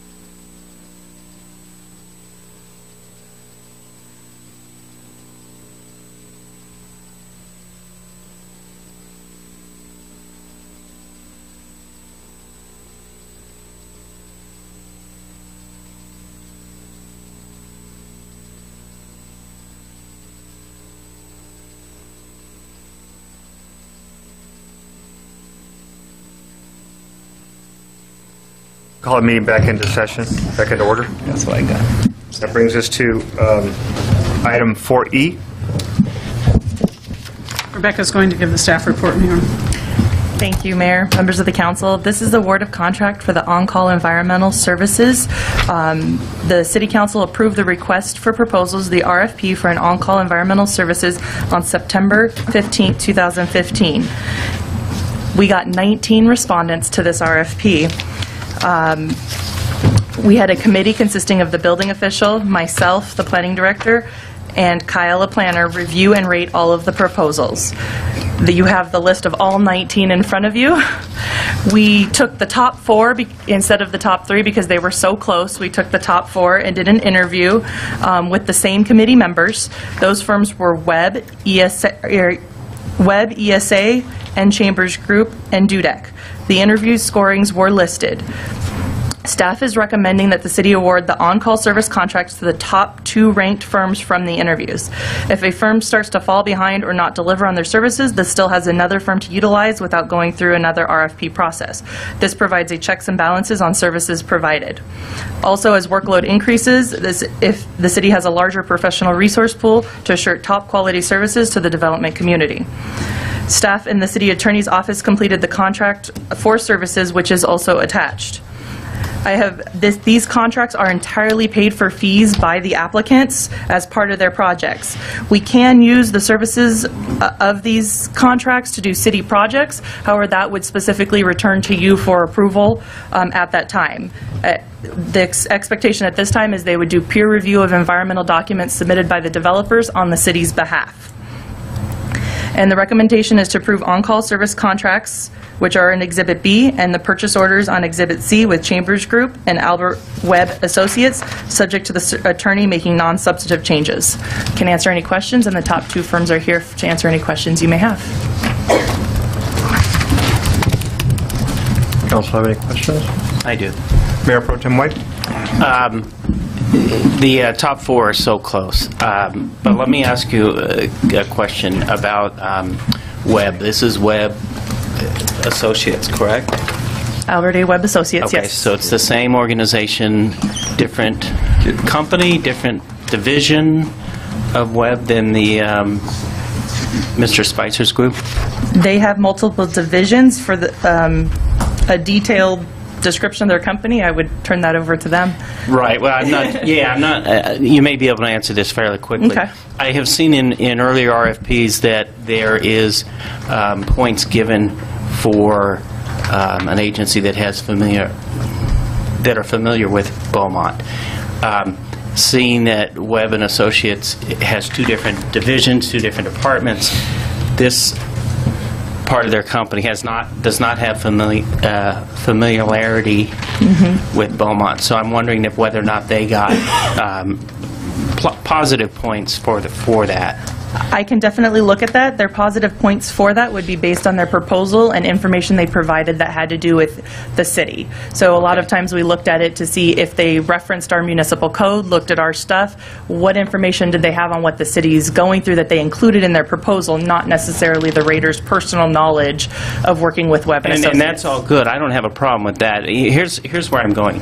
Um, I think that the more we can diversify the contracts and the work that we, we put out there, um, the better we're off we are. So my concern is that in RFPs, that because they have done work for us that's maybe unrelated, or another part of their company has done work for us, that that should not be a pos, that should be a a neutral point for that. Now, if they've done what you've said, which is they've gone and done their research, their homework, and can, and can answer questions specifically to the city, I, I think that that makes sense in awarding those kinds of points, because anyone of the, the group can get those kinds of points. And, and the majority of the points, I think, that um, we looked at had to do with not just knowledge of the city, but county and state laws. Had they proved that they've worked with the county agencies we have to work with? Have they worked with the different um, other state agencies? So is it, do they have the familiarity with the agencies the city has to work with? Okay, and I'm, and I'm good with all that. I just want to, I just want to, I, I show no notes or, or specific discussion that had to do with them getting points regarding because they have a, another contract with us. Thank you. But I do want to note that the engineering arm of Webb Associates has been recently retained with a $10,000 purchase order to do wastewater engineering services directly with me that doesn't involve planning staff. The wastewater engineer that I hired does work for Webb, and- Webb Associates Engineering, but he reports directly to me and is working directly And that's the contract we uh, just addressed, right? The on-call or something else? No, something else. He does not have a contract with the city. It's under my $10,000 signature limit. Um, And it's an interim engineer until we get the RFP out for the year contract. Okay, thank you. So it looks like the division is, they have a planning and environmental services division, so that would be different from that the would other be different than divisions. engineering. Okay, okay. Thank you. Councilmember Orozco? No, I, I just wanted to share, uh, well, first question. So th- this uh, RFP went through the, our our new process, right? That's correct. Okay, because I know um, we recently, uh, you you had recently provided training for the staff on the RFP process, so this went under that RFP process, the correct one, okay. Um, You know, some of my concerns too is, um, I wanted to add to that is, you know, I know some firms are, are better equipped in terms of handling, just because of the relationships and their involvement with, the- with county and and in other cities. Just one of my concerns is, I wanted to echo Councilman White here, is I, I think we can also do a good job in terms of uh, also diversifying um, the selection and, and not, again, not make it too positive in terms of if they have other contracts with the city. And this is from this perspective, is that uh, it allows other firms to understand that, or uh, basically, we we give um, an open door policy in terms of, hey, look, we're looking at everybody, we're not going to be selecting one firm continuously over and over, uh, just the way kind of perception it looks. Um, And and maybe this is something that we can discuss down the road as a council, uh, making sure that we direct staff to actually, you know, not, like you said, like Councilman White said, not to give points or um, favorability to over, you know, firm that has already contracts with the city already. So, but that's it. Thank you. Councilmember Condon? Well, Mark, you did it again. You, you uh, asked and responded to one of the questions that I had on my mind, and that also had to do with diversification of firms, uh, so that we get rid of the reputation that if um, you bid in Beaumont, you're not going to get the contract. It's going to go to the same people it always goes to. And whether it was true or not, that's a perception that a lot of contractors and people have had. I think this new RFP process is going to do something to help change that. So I share your uh, thoughts on that, Mark. One other comment that I do want to ask, you know me, I'm always concerned about the working people. And in the contract, it said that they must have workers' comp insurance, and I was very pleased to see that. Uh, What I wanted to ask you, though, is do you check and make sure that they actually do have that? Is it, do they have to reveal and show the proof of that? They have to issue a certificate, an insurance rider, and we attach that to the contract. Okay. And we make sure that it hasn't expired, and we make sure that the the underwriter insurance company is, is well-funded, Um, and we do attach that to the contract. Okay, thank you. I'm sorry, I had a question again. Sorry? After everybody has gone, I want to come back. Question. It's good, I'm good. Uh, Go ahead, Okay. Councilmember Orozco. Uh, um, Just going through this again, so you you you had mentioned that uh, three firms that uh, you called back for a th- second interview? No, we did, we interviewed four firms, Four firms, out of the 16, right? 19. 19, okay. Um, And uh, just going back to the the scores of the rankings from the original one, Webb, um, ESA, Chambers Group, and then uh, Dudek, Correct. and then the next one is McKenna Laner Corp. Okay. So from, from that process, from, from choosing there, how did you come to select? Oh, I see. They were the top in the interview process. So we took the Okay. top four, interviewed them, and based our scores and recommended based on the top two that came out of the interviews. I see. Okay. Okay. Thank you. Mr. Martinez, do we, I'm sorry, are we done? No. Do we have any public speakers? No? Mayor, I'd like to make one comment. I want to be perfectly clear in, in the discussion that I'm hearing that staff, it is not the policy or the practice as part of the new RFP procedure to award points to a firm that is familiar with Beaumont and that they're doing business with Beaumont. It- As um, Ms. Deming explained, it's more of, do you understand the culture in Beaumont? Do you understand what's happening here? Do you understand the, the um, organizational structure, the lack, the vacancies, if you will, in certain positions, things like that? But it is not, points are not awarded um, based on having done business previously with Beaumont. Thank you, that clarification is important. Yes, it is. Thank you very much. Um, I would uh, move that we approve the on-call services for Chambers Group and Webb. I second that motion. Mayor, can you give me a time you open and close the um, public speaking? I'm sorry. Um, Open and close, we'll call it 7:44. Thank you. Okay. Uh, Motion was by White, second by, it will take roll call to approve. Council members Orozco, Aye. Knight, Yes. Condon, Yes. Mayor Pro Tem White, Yes. Mayor Lara. Yes. The motion carries. That brings us to 4F. Award of contract aeration service. Thank you, Mayor. I'll be giving the staff report tonight. The City of Beau- Beaumont's wastewater treatment plant has five aeration basins. They have each 1.7 million gallons in capacity.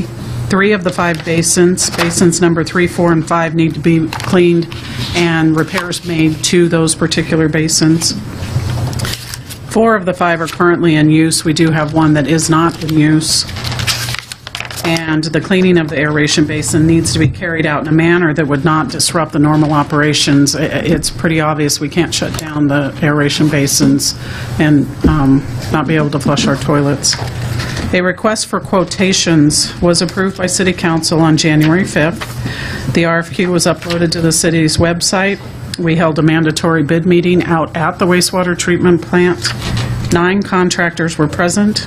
After the meeting on the 28th, we issued an addendum added to the city's website as part of the normal bid process, listing questions received from contractors and then providing staff's answers. Out of the nine contractors that attended the pre-bid, four companies submitted bids on the, by the due date. Two of the bids were from qualified bidders with non-responsive bids, while two others were received from responsive and qualified bids. Responsive and qualified bids received, the low bidder was High Desert Underground. Total base amount without options was $691,500. th- there was an additional amount added as an option of $37,900, and that was to complete the drain system for ponds 3, 4, and 5, which were never completed when the original construction was done.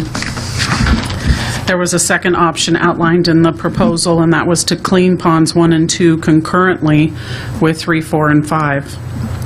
That was an additional amount of $235,400. It should be noted that there was an irregularity regarding the paperwork submitted to the city. The questions in the RFQ were not submitted as part of the original bid package.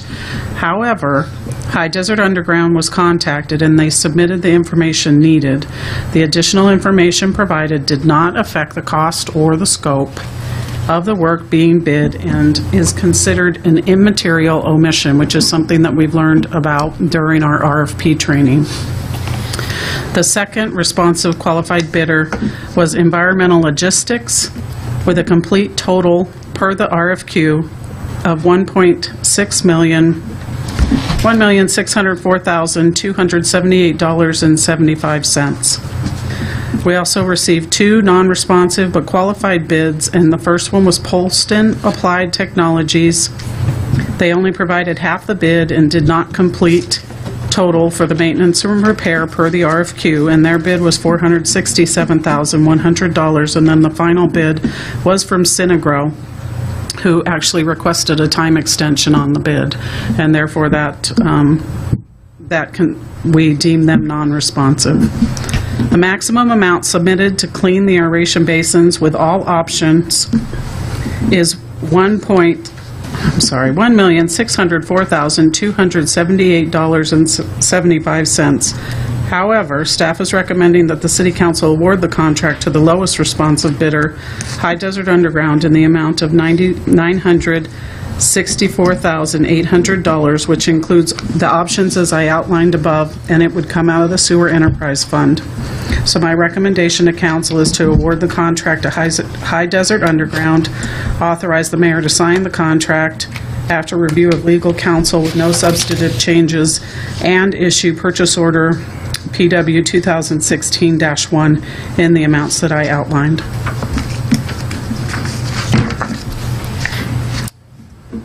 Do we have any requests for public comment? Not on this item, Mayor. Okay. Well, I'm going to go ahead and open and close public comment at 7:50. Councilmember Orozco, you have a question? So, um, um, some- again, some of the things that you indicated, this went through the new RFP process. Correct. Um, So these were sealed bids? Yes. uh, And when they came in? Yes. And then who was, what team reviewed?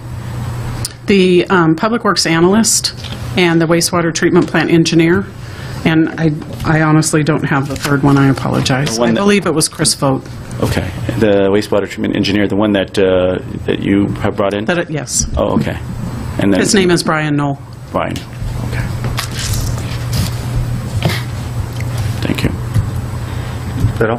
Mm-hmm. Any other questions? Councilmember Condon? Uh, I notice it says here um, that they would have the demonstration of experience in successfully completing similar projects with reference to labor relations, contractual and legal issues, personnel benefits, employee orientation and training. Uh, How are we able to validate that, that, for instance, they're paying prevailing wage and and that um, they're following through on this caveat. I just look at it as wondering how we can enforce that. Can you tell me what page It's you're on on? page three of the um, Item E. request for quotes of 4F. Um, Page three of the RFQ? Yes. Okay. And it says B at the top, is that the page? Uh, Let me see. It's item E. E, okay. Yes. Okay, as part of the proposal, they list the, p- the project managers for the um, project, so they have to state who actually is going to be, number one, our contact, and number two, what their qualifications are, um, in order to be the project manager from the company, not from the city. And then the- included in that were, in- as part of it, were the resumes of those individuals. And then what we did, Oh, you know what, my, I think she Yeah. meant D. My, my mistake Yeah, was to it's- say Yeah. it was E. It I'm sorry. D. Page 3D. Sorry. Six, it's page, uh, page six of 81 of the, so you're looking at D with A, B, C, D, and E listed? Correct. Okay. Yes, It's- small it's- letters. Well, it's, it's a similar response. What they do is they provide all of that information, and then during our verification of our checks, um, we call their references, we call them, we ask them different questions. Um, I'm not sure. The only way we could um, verify number DD would be to ask them and get, and talk to their reference checks.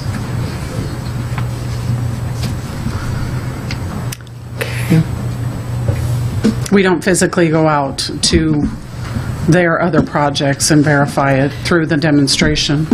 I guess I'm just curious who they get to work for them as personnel and how do, do they pay them? And do they pay them appropriately? And do they follow through with minimum wage or prevailing wage, whatever it happens to be? Um, I, I just hate to see the city subsidizing uh, below appropriate emplo- employment. I- And I follow what you're saying. If it was a um, Public Works project, and and John can probably speak to this, but if it's a Public Works project, they have to provide certified payrolls, and so that's how we would verify. That's, Yeah. that's the answer I was looking for. Sorry, that was a roundabout answer. That's right. we got there. Was that all? Mayor Pro Tem White? Yes, um, real quick, a uh, quick comment. Uh, Nine contractors, four with bids, two with the responsive bids. Um, I think this is showing us that, that we're doing things right, because we're starting to get more than just one or two firms coming and showing interest. Um, So Dr. Condon's always concerned about the employees, I'm always concerned about the budget. Has this been um, budgeted for 15, 16, 16, 17, PARTA? I mean, where does the uh, 900 and change? We actually budgeted for 1.3 million. Okay, Um, That was a a um, suggested estimate of what it would cost, and so we did come in under that. So it is budgeted in the sewer enterprise fund. for 15, 16 then? Correct. And this contract will run how long? Um, We're hoping that it's complete in about six to eight weeks. We are against the clock with El Nino, Okay, and it needs to be done expeditiously. great, thank you. Ms. Gibbs, one of the advantages, if I recall, when we were going through the, um, the tour of the plant, was that this will provide additional capacity Correct. for the plant, Correct. as well as, in what you referenced El Nino, you're also talking about the potential for um, inadvertent water or drainage flows to, to impact and potentially overflow. So this will all pro- also protect the city as well, is that correct? Correct. And then additionally, I should mention that it'll hopefully reduce our Edison bills because the blowers that are in the, um, the maintenance that needs to be done in their aeration basins, um, we do believe are significantly um, behind in maintenance. And the Edison bills, it's kind of working, we're working against ourselves. All right. Thank you. Do I have a motion? I move that, uh, to award the contract, item one, two, and three. I'm not going to say it all because my voice won't hold it. Um, I move that forward. I second it. Okay, so I have a motion by Knight and a second by White to approve the recommended council actions one, two, three. Roll call, Council members Orozco, aye. Councilmember Knight, Yes. Councilmember Condon, Yes. Mayor Pro Tem White, Yes. Mayor Lara. Aye. That brings us to item 4G, approval of changes to authorized authorized position list fiscal year 15-16. Staff report? Carrie? Uh, Ms. Carey. Good evening, Mayor and Council.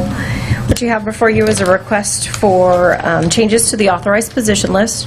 This has kind of been a running list, if you will, um, since the budget was adopted in uh, mid-September, and through my negotiations with the um, various unions and employee groups, we started discussing various titles and what their appropriate um, position in the employee group should be, and it kind of raised some uh, awareness about some different positions that kind of fell off the grid, that weren't maybe named right, um, weren't in the proper groups and things of that nature, and then also working with Mr. Pinckney's office in regards to salaried positions and making sure that we, um, that we correctly reflect salaried positions.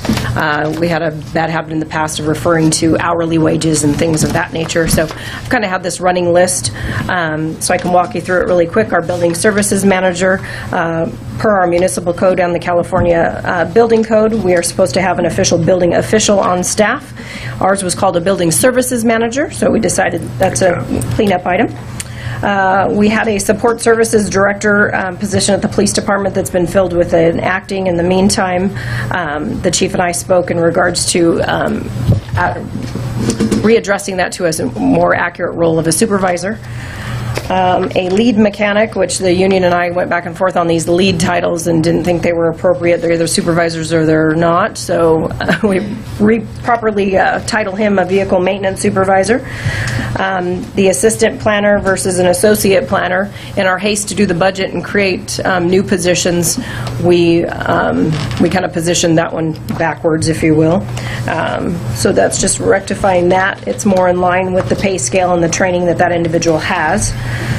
Um, Customer service coordinator assigned, a customer service coordinator two assigned to planning, could more accurately be uh, reflected as a planning and building permit technician. That is the only new job description that you actually have in front of you.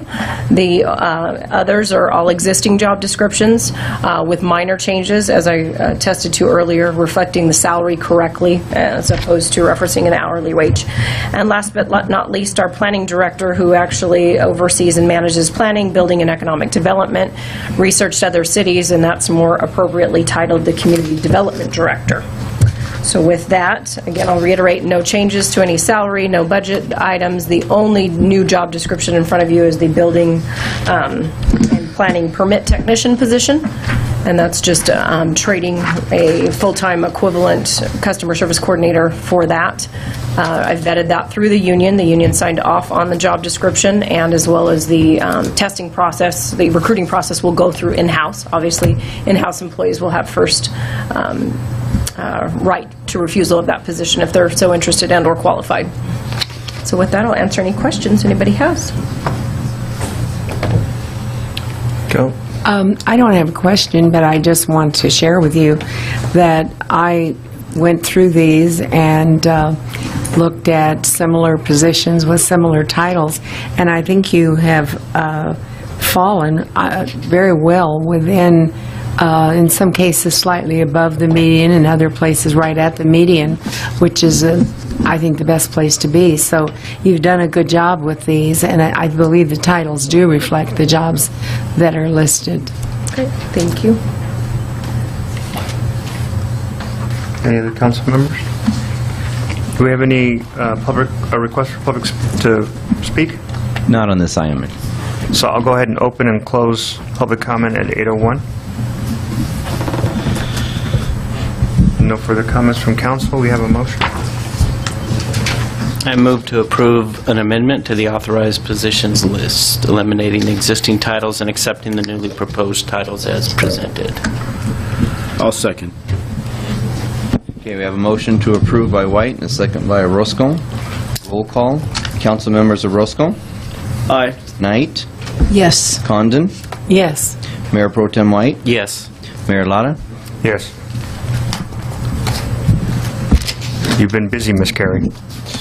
Thank you. Yes. Your Honor, I'm going to recuse myself on the next item, item H, given that it involves invoices for my law firm.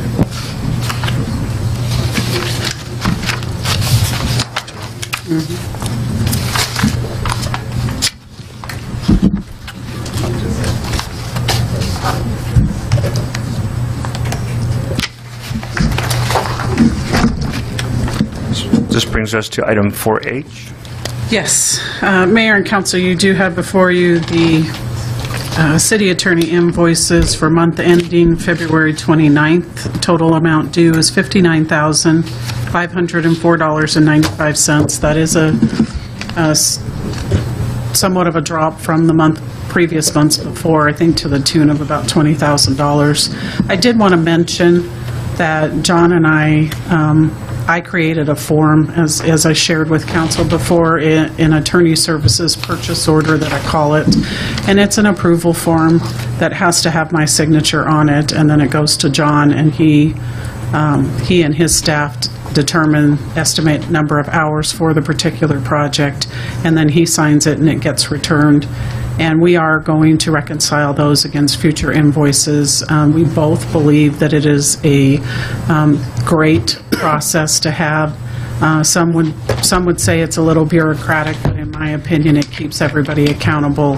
And um, the department heads and staff are no longer allowed to just pick up the phone and call the city attorney for advice without an authorized, um, signed by both of us, uh, signed form. So um, John even mentioned to me that he's going to entertain that particular procedure in some of his other cities, so it is working well. I do believe that the March invoices, you will see even a greater drop because of the implementation of that form.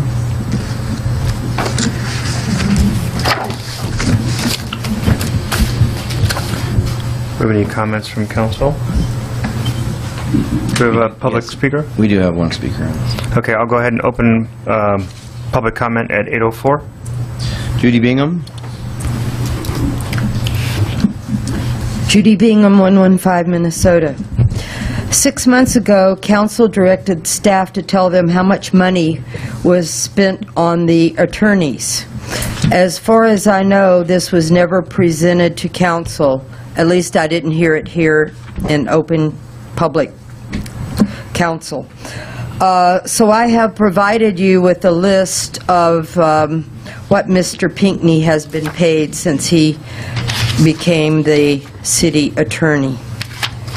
In the last 10 months, Pinckney has been paid over $800,000. Uh, To Aklufi Wysocki's credit, they only took $25,000 a month, but hey, they weren't worth anything. Uh, The city, a city attorney must represent the best interest of the citizens, not outside interest. Uh, We hope our city attorney is not representing the interest of the developers and bond salesmen. Since Pinckney has been the city attorney, he has encouraged Beaumont's council to approve three more Melrose bonds. July 21st, 2015, Pinckney's law firm um, recommended council to agree to trade Melrose bond funds to Pardee Homes in exchange for mitigation fees.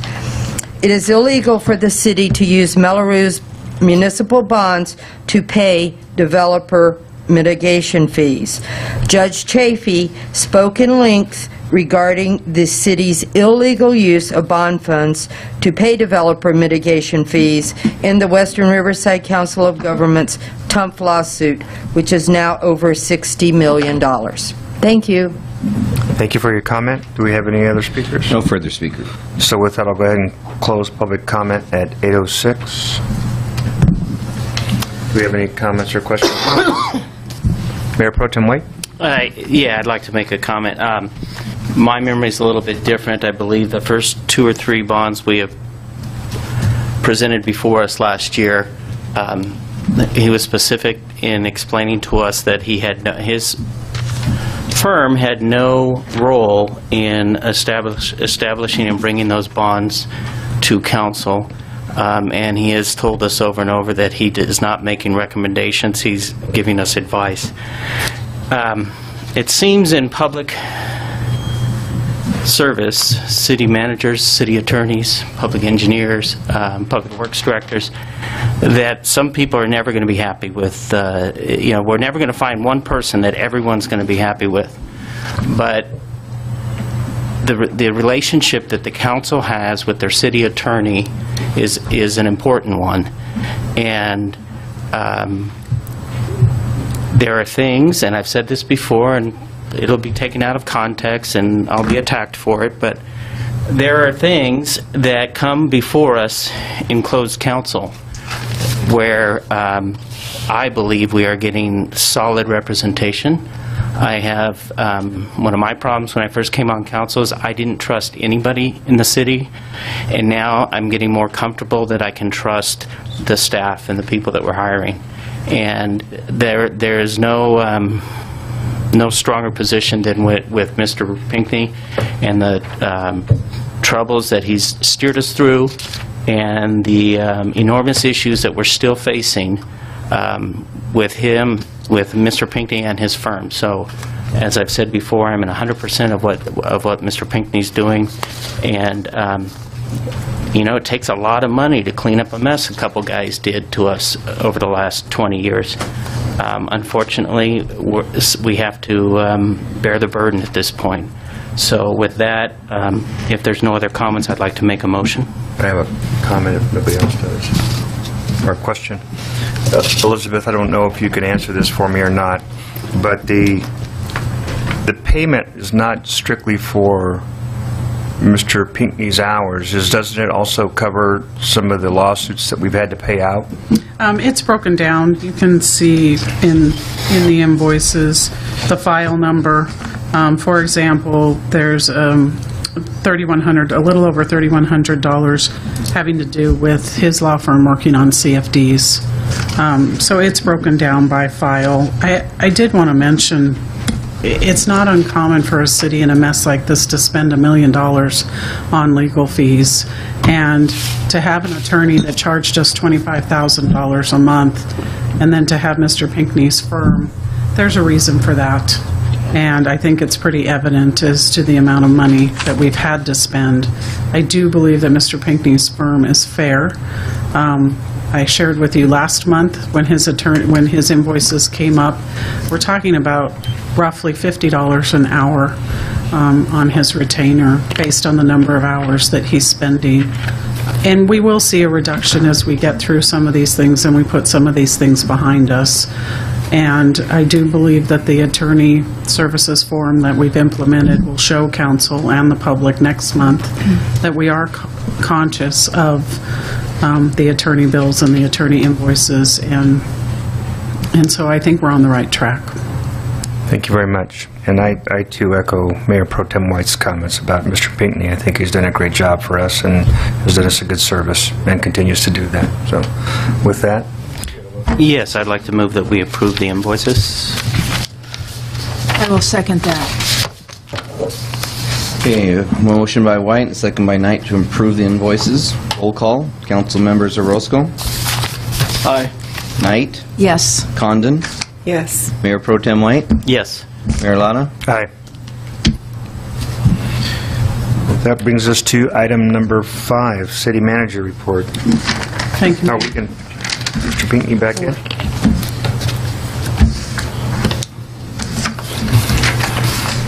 While John's coming in, there's a few things. I already talked about the city attorney form. There's a couple other things that I wanted to update council on.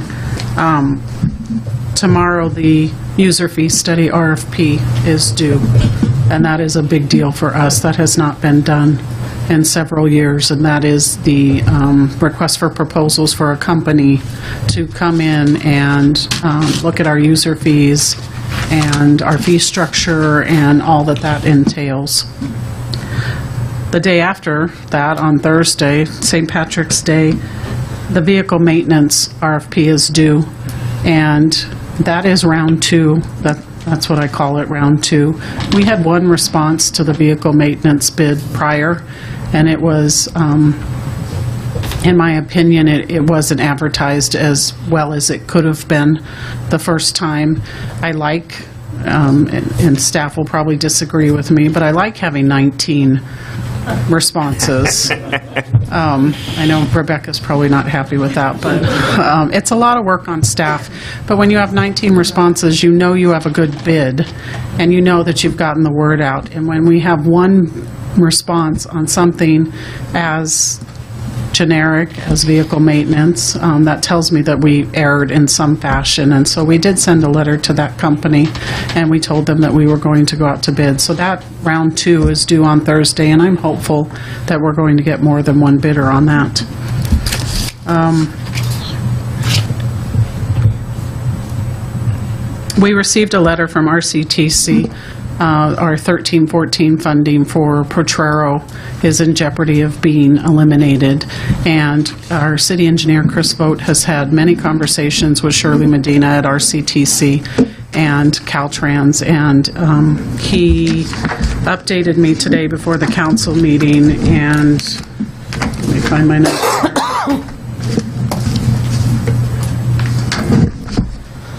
just to recap the funding and what Chris, Chris is still working on the Potrero workshop.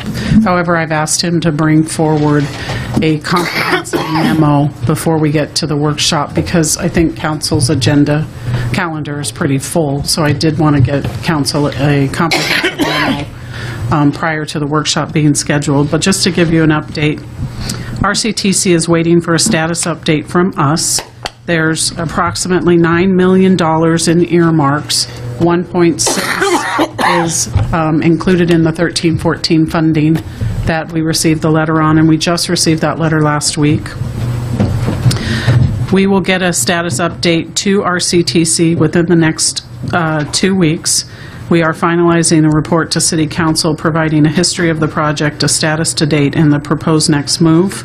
I have scheduled a um, urgent meeting with the engineer that has the design plans. It's my understanding that the, the design of the Potrero interchange is all but done.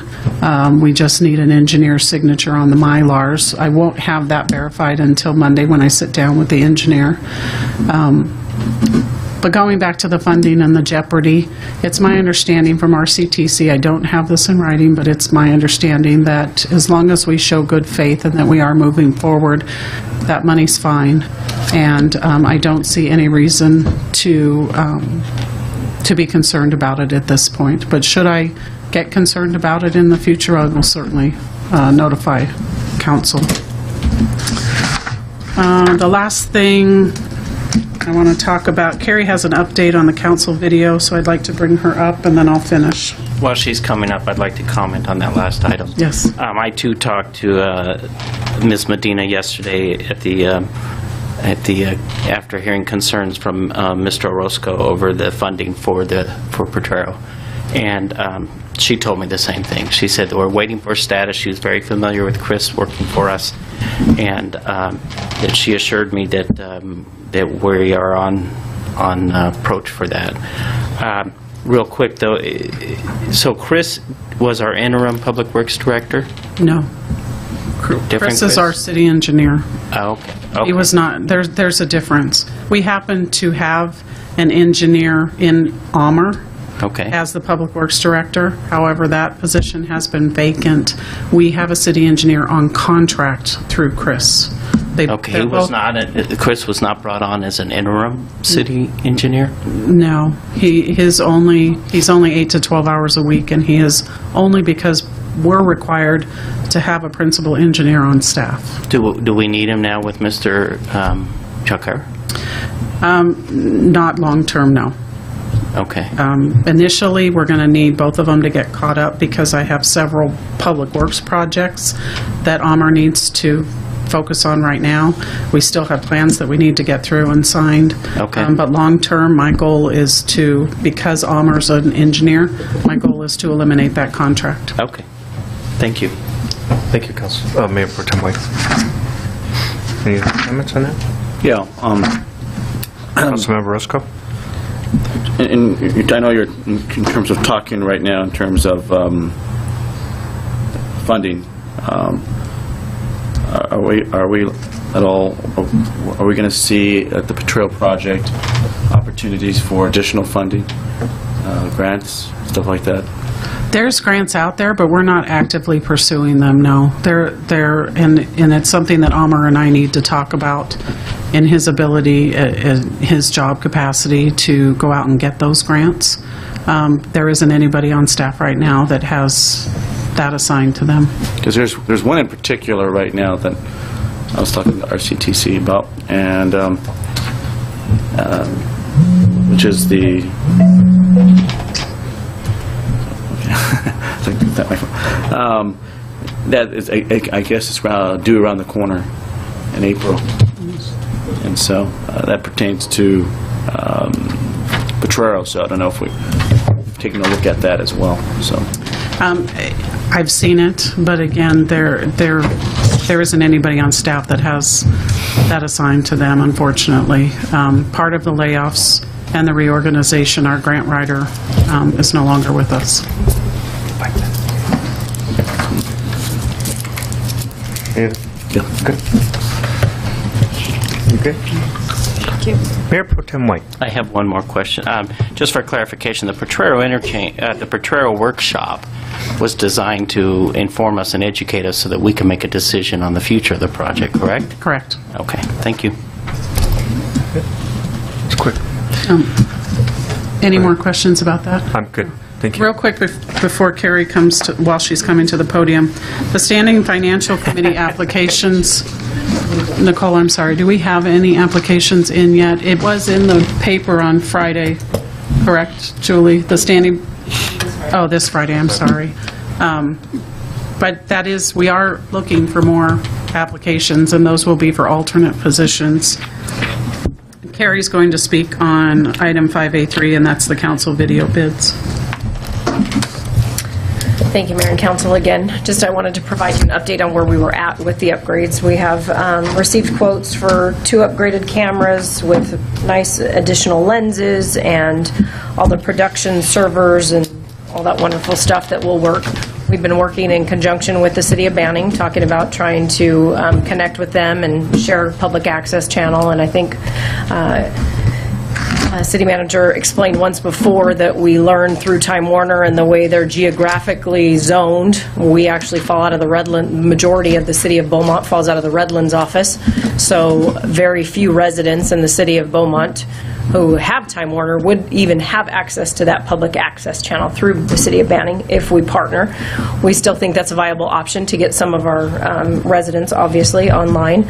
We've also looked at um, directly through Time Warner and the, out of the Redlands office, and they've pretty much told us they don't have, they don't have room. They don't have a time slot for us, maybe at 4 o'clock in the morning. So um, I know uh, Mayor Pro Tem White and I discussed that we think YouTube is working pretty well. So I think we're going to move forward as is with the two camera upgrades, the lens upgrades. We're doing our due diligence to make sure we're finding the best price on the market based on the equipment. We're staying well within the, actually, right now, we're even under the $10,000 limit, but you guys had allocated 15. Right now, I'm only looking at probably spending about $7,800 to just upgrade the video feeds, get you a camera that points here that somebody can switch the views to back and forth so that the public can see this when the time comes. Um, How about split? split I'm sorry? About split screen? But we can look at that as well. That'll all be in the setup design phase. So yeah, if you'd prefer it set split, we can look at that. So we will continue working with um, Time Warner in regards to a public access channel that will hit the rest of the communities. We've also reached out to our contact at Verizon Fios to see what options they have for public access channels, because I think the majority of our residents, it seems like, are Verizon Fios. We've been kind of looking at the numbers and everything else. So we're going to move forward with continuing our partnership with Banning and exploring Time Warner and Verizon contracts.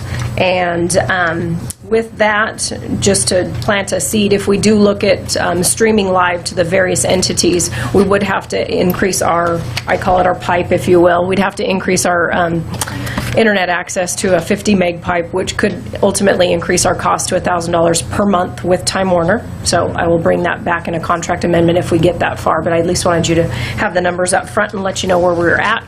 And so you'll see some progress here shortly on that project. Any questions? Thank you. Um, Just a few more updates. Our bank reconciliations have been done and completed through January 2016. It is on our website. I did bring copies. They're in the back of the room for the public to see what, what um, each fund, the balances in each fund. Um, but it is on the Finance Department webpage. I am negotiating with a finance director. Um, We did receive several applications. Um, One particular gentleman stood stood out above all of them, and he and I have met. Um, Carrie has spoken with him several times, and I'm hoping that we have a finance director employment agreement on the April 5th council agenda. Uh, Nicole, our deputy city clerk, is actually in training this week um, on the track for her certified municipal clerk certification, which, as, as council knows, was one of my goals for the deputy city clerk, was to have that CMC certification. Um, A lot of cities have that. It does reduce attorney costs when you have a CMC in the clerk's office because they, um, and and Nicole's going to learn soon. I believe they're, they're, um, I don't want to say paralegals, but they are, they, they know the code and they know the laws and they know Public Records Act. And it, uh, it is an investment um, in this organization, and I fully support Nicole um, in doing that. The um, workout plan update, we met, staff met with the consultant that's doing the workout plan. Gath- They gathered significant data. I will be getting an update from them this week. We uh, are still working on closing the books. That is step one of the workout plan, but I believe we're close. Future agenda items.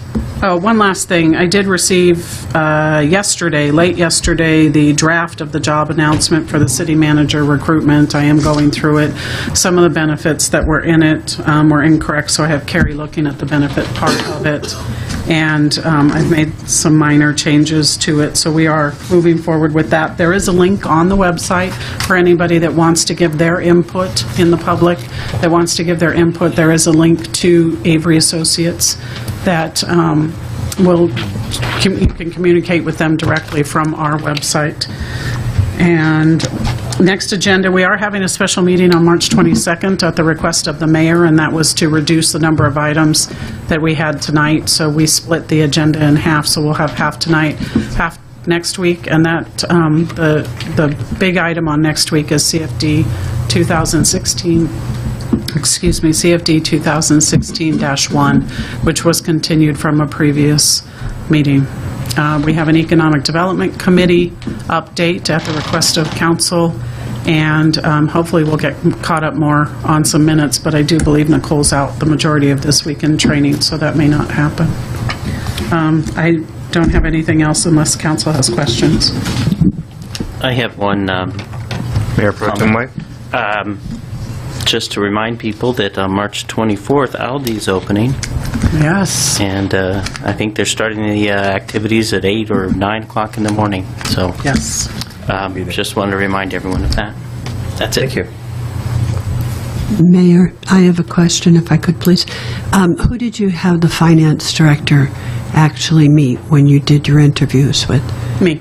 Okay, just you? All right. And Carrie. Okay, thanks. That's all I have. Thank you very much. That brings us to item number six, City Clerk Report. Thank you, Mayor and City Council. Um, I want to state to the council and the public that it it is my opinion that public record requests, uh, inquiries in the past were being purposely stalled by um, and under the direction of city management that at the time were no, of course, they're no longer here. But I have stated that when I took this position that I would help ensure the transparency and to be a liaison between the public and the city staff. And that was reasons to give the public peace of mind so that the city is being open as possible to the public. Uh, So therefore, I just want to ensure, and I want to state this to the council and the public, that any delays in the current public records requests are in no way any stall tactic or being purposely misleading to the public. Um, Simply due to personnel changes, we've had three changes in the clerk's office, we've had limited cooperation from banks, we've had insufficient record keeping on site, as I found when I got here. Uh, We were missing file from the DA involvement with no invoice of what was taken. Uh, We had changes in finance directors, we had staff cutbacks, we had limited budget, and that includes, of course, compiled with the voluminous requests that we're, that we've been getting. So, you know, it's common sense that we're going to have delays in our requests, and I understand that the law doesn't care about that. But I just want to state that we are making outstanding progress to catch up with the public records requests. I reported our last meeting, um, the progress that we've made so far, and um, I invite the public to meet with me at any time if they have um, outstanding concerns about what they believe is not being met. Um, I appreciate the patience the public has, and I do emph- empathize with those that have been wronged in the past. Um, but I do want to know, I want them to know, and I want you to know that we are doing what we can to make sure that everything is being done as soon as we can with what we have. So, you know, we, we are trying, and we're making great progress, as you can see. And again, I wanted to state that if the public would like to meet with me at any time to go over what they feel is still outstanding, then I'm definitely encourage that. And on the last note, I want to thank Nicole. If you notice, there's minutes on the warrant list, so we are getting back on track, and I thank you for that. So. Thank you very much, Mr. Martinez, and I know that you're working very hard. I think I've seen you here a couple evenings at um, midnight and later, unfortunately, but uh, thank you for your work. I appreciate it. Thank you. Item number seven, city attorney report. Uh, We continue to uh, monitor the litigation that the city has been a party to um, for some time, and and we, you know, we had a, over a dozen lawsuits at one time, I believe, but really, the disputes now, I would say, are broken down into five categories where the city has potential exposure, where we're a defendant and somebody's seeking damages. Um, The first item, and, and item seven in your packet, is a list of the status of pending litigation. Item one and two are both the WRCOG-related litigation. There was the lawsuit that was filed by WRCOG against the city of Beaumont. Item two is the uh, city of Beaumont lawsuit against the RCTC and WRCOG. Um, The WRCOG lawsuit, of course, is on appeal, and the, uh, the city's lawsuit against RCTC and WRCOG was stayed pending the outcome of appeal. So I really categorize those as one, one dispute. The next dispute uh, that's still pending is the Oak Tree Alternative Care versus City of Beaumont case. In that case, the appeal is pending. And then the third category would be the Morgan versus City uh, of Beaumont Police Department. And that case is uh, also on appeal. And then the fourth category would be Pedroza versus the City of Beaumont, uh, City of Riverside et al. We are one of the defendants named in that case, and that's in the pretrial stage. And then the fifth category would be the, what I call the HUP litigation. There are several lawsuits uh, that have been filed by members of the HUP family against the city, and uh, and those items are all um, one is at the appellate stage, uh, and then the other three are at the pleading stage. And then the last item uh, is the Monique Hernandez versus City of Beaumont, and that's really a subrogation case where the carrier uh, for the city that paid out significant sums as part of a settlement is seeking subrogation from the manufacturer of the device, the pepper spray device. So that's uh, the status of, and that's still in the uh, pretrial stage. So that's the status of the litigation that's pending. And we've been working very, we, we look at every uh, invoice that comes in in connection with those matters. We communicate with the attorneys that were handling those matters when we were brought on as city attorney um, to make sure that the work is being done as efficiently as possible. And we have gone to them where it's appropriate and requested that uh, reductions be made in the bill, and they've complied with those requests. Uh, Most of them have. And then you know, with litigators, sometimes they want to take 24 depositions in a month. And so we work with them to identify what are the depositions that really matter because we have a budget to work with. Uh, the city has a budget that it has to live within. So um, I think we're, in the past, I don't think there was any kind of uh, management of those expenses. They just were whatever the bills were that came in. And so we're trying to manage those uh, outside litigation expenses for the city as general counsel of an organization should do. Um, In addition to that, one of the things that we've recently done is the City of Beaumont has a voter initiative that has been circulated.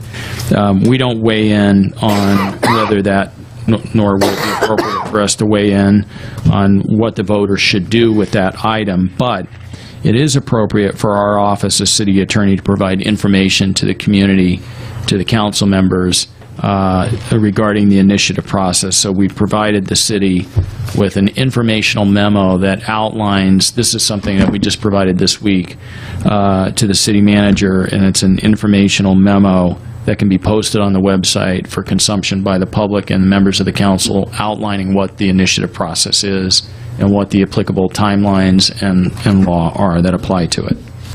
And that's for, you know, the benefit of people on both sides of the issue. Uh, We also, as you know, have been working on the, uh, the Union Bank subpoena matter and record production in connection with the city council's investigation into the use of, past use of bond proceeds, preparing the subpoena that you voted on tonight to BNY Mellon Bank and the individuals that we mentioned earlier. Um, We uh, drafted also, we provided the city manager with a draft uh, Public Records Act policy regarding copying charges. Um, The intent of that is just to make clear for everybody that's involved with public records what the city policy is, and that would be something that would come to the council at a future date for you to weigh in on. Um, and then also advising the city in connection with the WRCOG matter. Uh, We're, we're representing the city in connection with the Heartland project and the Brookfield project, uh, specifically with respect to performance bonds. Those aren't the same as Mello-Roos bonds. These are performance bonds that a developer puts up as insurance that they will complete improvements that they agreed to complete as part of a condition of approval. Um, We've also uh, been advising the city on labor and employment issues and assisted the city uh, in the connection with the collective bargaining process. We provided AB 1234 training to the Standing Financial Committee last month. Um, We recently prepared an estoppel certificate uh, that there was a request that came in pursuant to a development agreement from uh, one of the developers in town uh, requiring the city to sign a- an estoppel certificate. And so we, we took what they submitted and we created a new document that we thought was more appropriate for the city. Um, And we uh, provided that estoppel certificate to the city, which went out. We've advised the city on CEQA questions. In the last month, we've assisted uh, the city as we're request, when we're requested to do so on political, uh, Public Records Act issues. Um, And we try to be of service to the city clerk and assistant city clerk if they have legal questions regarding Public Records Act requests. We've, uh, we worked on a draft interim city manager contract the police chief contract that you voted on tonight, the public works director engineer contract that you voted on tonight. We've appeared at two Pitchess hearings in court on behalf of the Beaumont Police Department. Um, We've been representing the city in code enforcement matters and at a code enforcement hearing. Uh, We assisted the city in connection with a density bonus agreement. Um, We, as you know, attended the growth uh, control workshop and the CFD workshop. We also, I attended the uh, joint meeting with uh, the city council and area water district and cities that took place uh, last week. Um, We also uh, recently assisted the city in connection with a uh, a proposed project, um, a distribution project here in the, in the community. And then we uh, have advised the city in connection with uh, the Sunny Cal matter, and you'll recall that there was a a tolling agreement that recently came before you, and so we've been assisting the city with that and advising the city in connection with that. We've also uh, recently advised the city on uh, in connection with a question related to a concealed weapons permit issue. Um, We worked on a, uh, the Willdan Plan Check Services Agreement. We've advised the city in connection and continue to represent the city and the successor agency in connection with the redevelopment agency dissolution. And in fact, this morning, Charles Gallagher, who you'll recall came here and spoke to you as the successor agency, uh, he also appeared with Kyle Warsinski uh, in front of the Oversight Board, and this morning, the Oversight Board had a meeting, and they had some items that they had to come back and revisit with the Oversight Board uh, at the direction of the California Department of Finance, and so he appeared, and I believe that meeting went successfully. The item passed. Yeah, passed. And uh, we also recently provided uh, mandatory sexual harassment training to management employees at the staff, and that's my report. Thank you very much. That brings us to item eight. Question Oh, Sorry, Councilmember Knight? on item, this next item on the consent calendar. I don't really want to pull the item, but I, I just had a couple of quick, quick questions on item number I to our city treasurer. Okay? Okay, that's fine. You want me to go ahead? Should we, um, we should, I mean, uh, it's been our habit just to pull those anyways, because I have a couple I'd like to pull as well. Okay. All right. So I'd like to pull item number I. Okay. Any others? No. Um, Mayor Pro Tem White? I'd like to pull item G and H. G, H. Any other items from council? Do we have a motion to approve the balance? I move to approve the balance, which is A, B, C, D, E, F, and J, I believe. That's correct. Is that correct? I'll second. Okay, so motion by Knight and a second by Lara to approve A, B, C, D, E, F, J. Roll call, Councilmembers Orozco, Aye. Knight, Yes. Condon, Yes. Mayor Pro Tem White, Yes. Mayor Lara. Yes. Okay, so we'll go ahead and, that motion, we have, uh, Do you How want to about take, do you want to take them one at a time? yeah, we'll take 8G. How about F? Um, G, I'm sorry. G. Okay. Testing me, weren't you? Yeah, I was. 8G? Hi, Rebecca. Um, I just need to really understand this one. It's, it seems really unusual. Um, So if you want to give a brief staff report. Um, sure. This is the approval of final map 36435. Um, the lot is for a mobile home park. It's a condominium map. So condominium maps are one lot subdivisions. So that's why you see one lot. Um, what'll happen is with this one lot is recorded, they will do a condominium plan that will show each individual location of each um, space.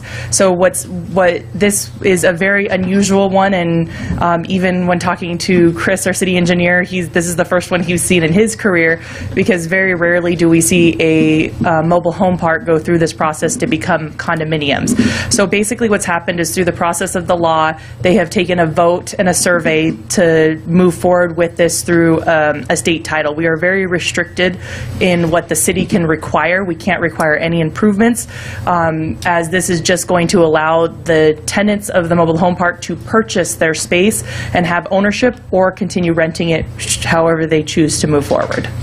So um, the voters were the renters? Correct. Okay.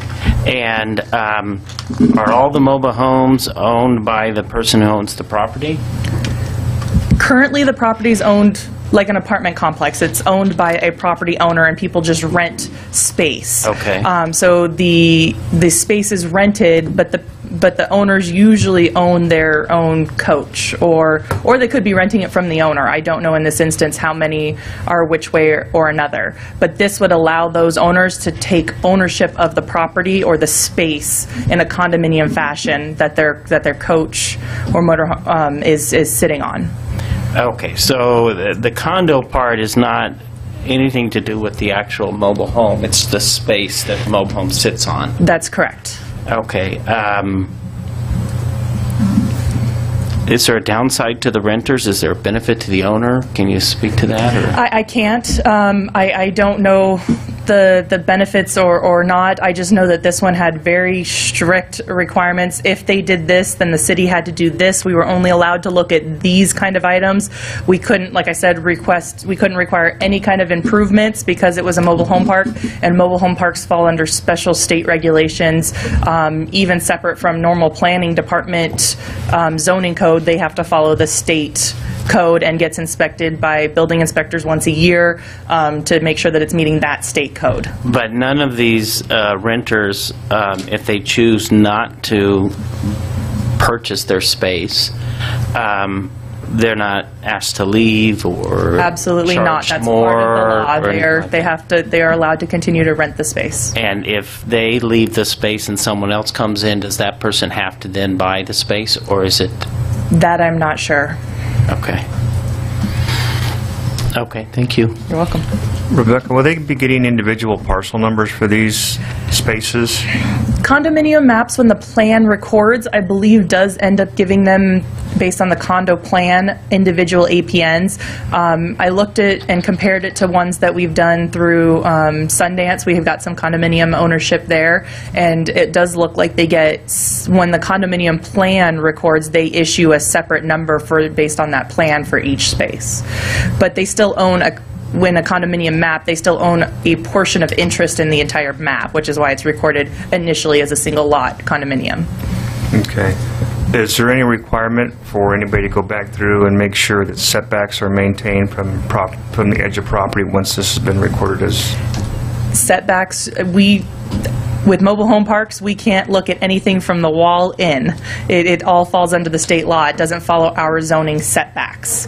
Um, So it's not, that's not what we look at. When we go out and inspect, we're making sure that things are being maintained per the state law, not for setbacks or anything like that. Um, This is not a request to expand where we look at a new mobile home park map. It- It's liter, it it is just what's there is what's being proposed to change ownership, and that's all this does. Okay, I was just curious because the setbacks under Title 25, six foot between structures, would, could be an issue when somebody takes ownership, and then I'm going to assume that if they decide to purchase the property, they're going to want to put a permanent foundation perhaps to make it become real property and increase the investment, or there's no way to know that? I don't know. Okay. Okay, that's all the questions I have on that item. I move to approve item 8G. A second. Motion by White, second by Knight to approve final tract map 6435. Roll call, council members Orozco, Aye. Knight, Yes. Condon, Yes. Mayor Pro Tem White, Yes. Mayor Lara. Aye. That brings us to item 8H, approval of PO AD 2016-12 in 8 in the amount of 88000 All right, can I just clarify, there was, there was no public comment on that last item? Um, no, not on any of the consent. All consent. Thank you. Along the similar lines, just trying to understand where, where all the money is going and what's happening here. Uh, This is a purchase order approval for finance staffing, correct? Correct. Okay, and um, there's a remaining balance on the PO. Is that a different PO, or? Yes, that's a, Okay. there's, there's two POs in question. So we have Legend Staffing, which has a little bit left on it, and then we also have Muni Temps, um, that also has some funding left. We let go of the employee working under the Muni Temps contract um, shortly not too long ago. We did hire our second account technician in-house, so we have two full-time um, account technician employees in finance. We have Milana Taylor, our CPA, who's filling it as our interim, and um, Michael Priegel is also a CPA, former finance director. They are both being funded through Legend Staffing. Uh, Milana's been working with the um, financial committee in regards to the overall structure of what finance should look like in a perfect world as we continue to grow and move forward and, and play catch-up. I worked with Michael and Milana on some numbers in regards to keeping these two temporary staff in-house for the rest of this fiscal year to handle the cleanup on the remaining items you see in front of you. Um, Because we still have an, a vacant lead uh, accountant that we were unable to fill. We couldn't find qualified candidates, so we underfilled that with an account technician, just somebody who could get in there, get accounts payable and receivables done, and um, make their reports for Nancy and her, her group. Um, Milana's working with the auditors, uh, getting ready for budget with Bob Dice and his firm, Urban Futures. Um, Okay, yeah, you're answering all- most of my questions. Um, Where you were going. Yeah, but, uh, so, so basically, this purchase order is to continue paying those two people to do this list of items that you have here. Are we paying them as part, through Muni Temps, or are either one of them an employee? No, we're paying both of them through Legend Staffing. They're Okay. both through Legend. We just want to use the balance in Muni to offset. Okay, and this, this money was um, not budgeted for this, but it was from the salary savings? Like Milana, for example, we were paying Onyx direct. So what money was being funded from the city directly to Onyx is now going to go through Legend staffing for Milana's position. Okay. And then the lead accountant that is vacant, again, it's underfilled right now with an account technician, so there's some savings there as well. Okay, thank you. You're welcome. I'm good now. Okay, we have a motion. I move to approve item number H. Get that right? Yes. I'll second. It's a motion by Knight, second by Lara to approve. Roll call. Council members Orozco? Aye. Knight? Yes. Condon? Yes. Mayor Pro Tem White? Yes. Mayor Lara? Yes. That brings us to item, oh, do we have any public comment? No, Mayor, we do not. Thank you. And the last item would be 8I. Thank you, uh, Mr. Mayor. Um, Madam Treasurer, I just had a couple questions. Um, and I'm all for one as far as training and that sort of thing. Um, But we've got a new form here, and I'm a little bit confused on what's happening and what we're actually voting on. Um, So how much is the scholarship that you're going to get? You- You mentioned scholarship, but there was no money amount. Yeah, it was $305.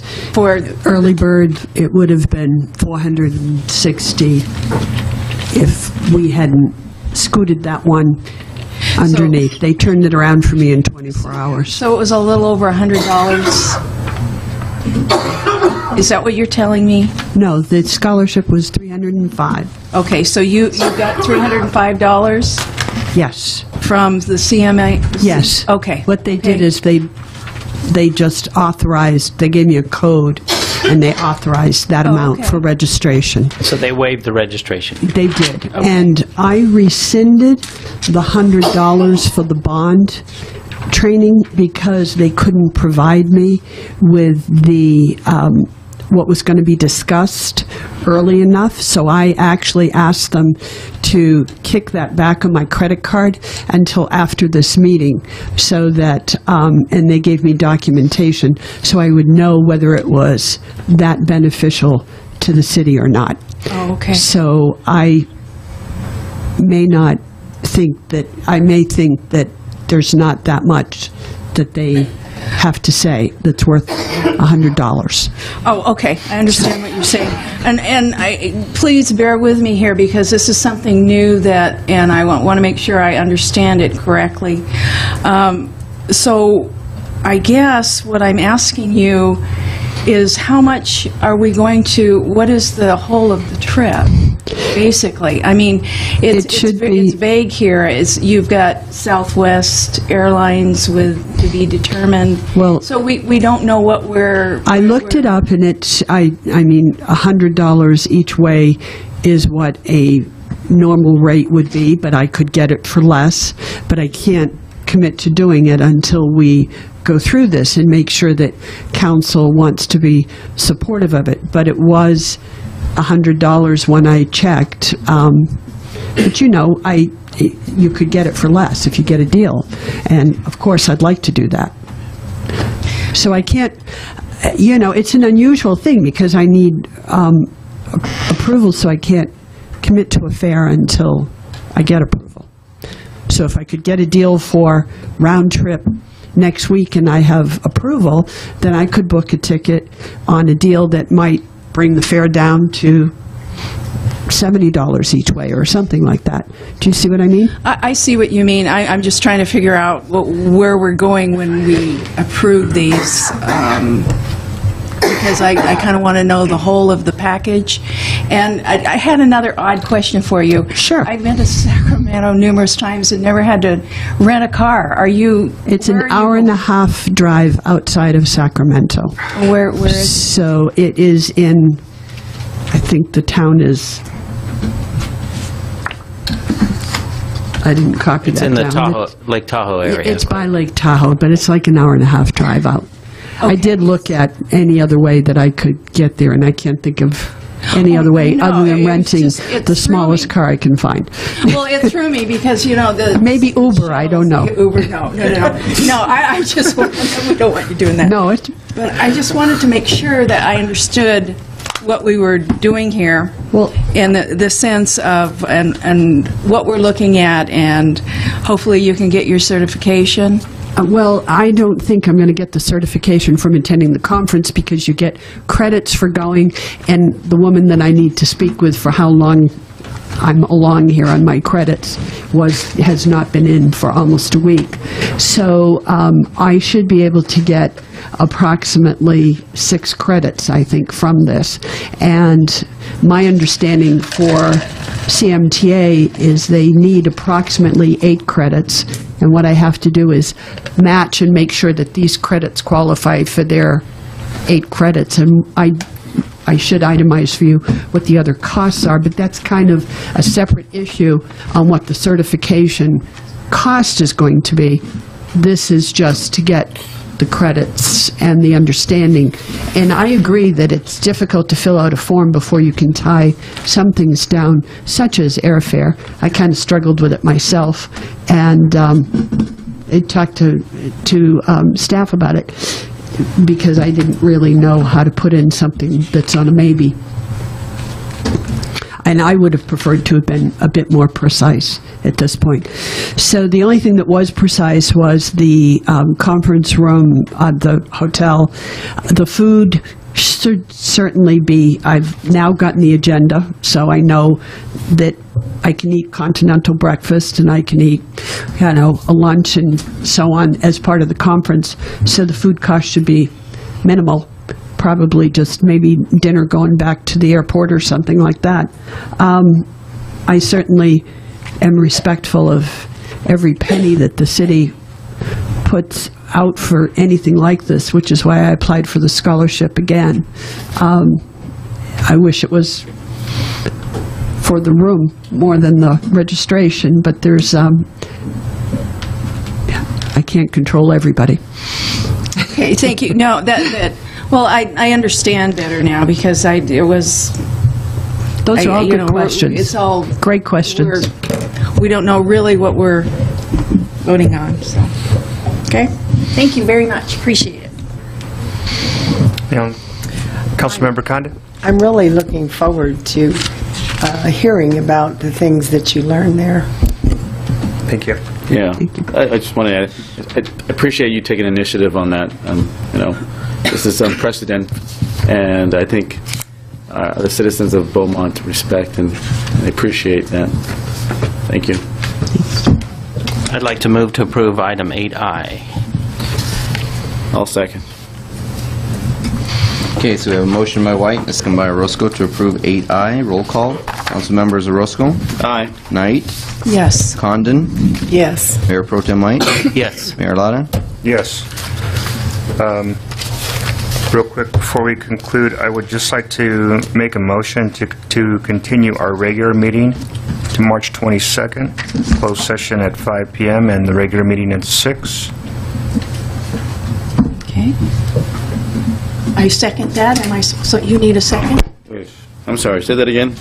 I'm just making a motion to continue our regular meeting to March 22nd, closed session at 5 PM. Oh, Okay. Open se- regular session at 6 PM to wrap up the items on the agenda that we didn't finish this evening. But we are still finishing up closed session tonight, or is that moving to the 22nd? Yes, no, we'll, we'll work on finishing closed session tonight, but if we don't have an opportunity to finish, then we want to make sure that we continue that in a regular meeting. Okay. Okay, I was a little confused there for a second, that's why I was as- asking, I'm like, okay, we have to go home. No. All right, so I'll take a roll call on that motion by Mayor Lara, and second by Councilmember Knight. Roll call, Councilmembers Orozco, Aye. Knight, Yes. Condon, Yes. Mayor Pro Tem White, Yes. Mayor Lara. Yes. And with that, I will go ahead and adjourn our meeting, or wait, adjourn to closed session, Closed session. Go into closed session, and we'll actually, the council will come back out after closed session and report out any action taken in closed session, and then we'll wrap up, your, you've continued the remainder of the meeting until the 22nd of March. Actually, thanks. Don't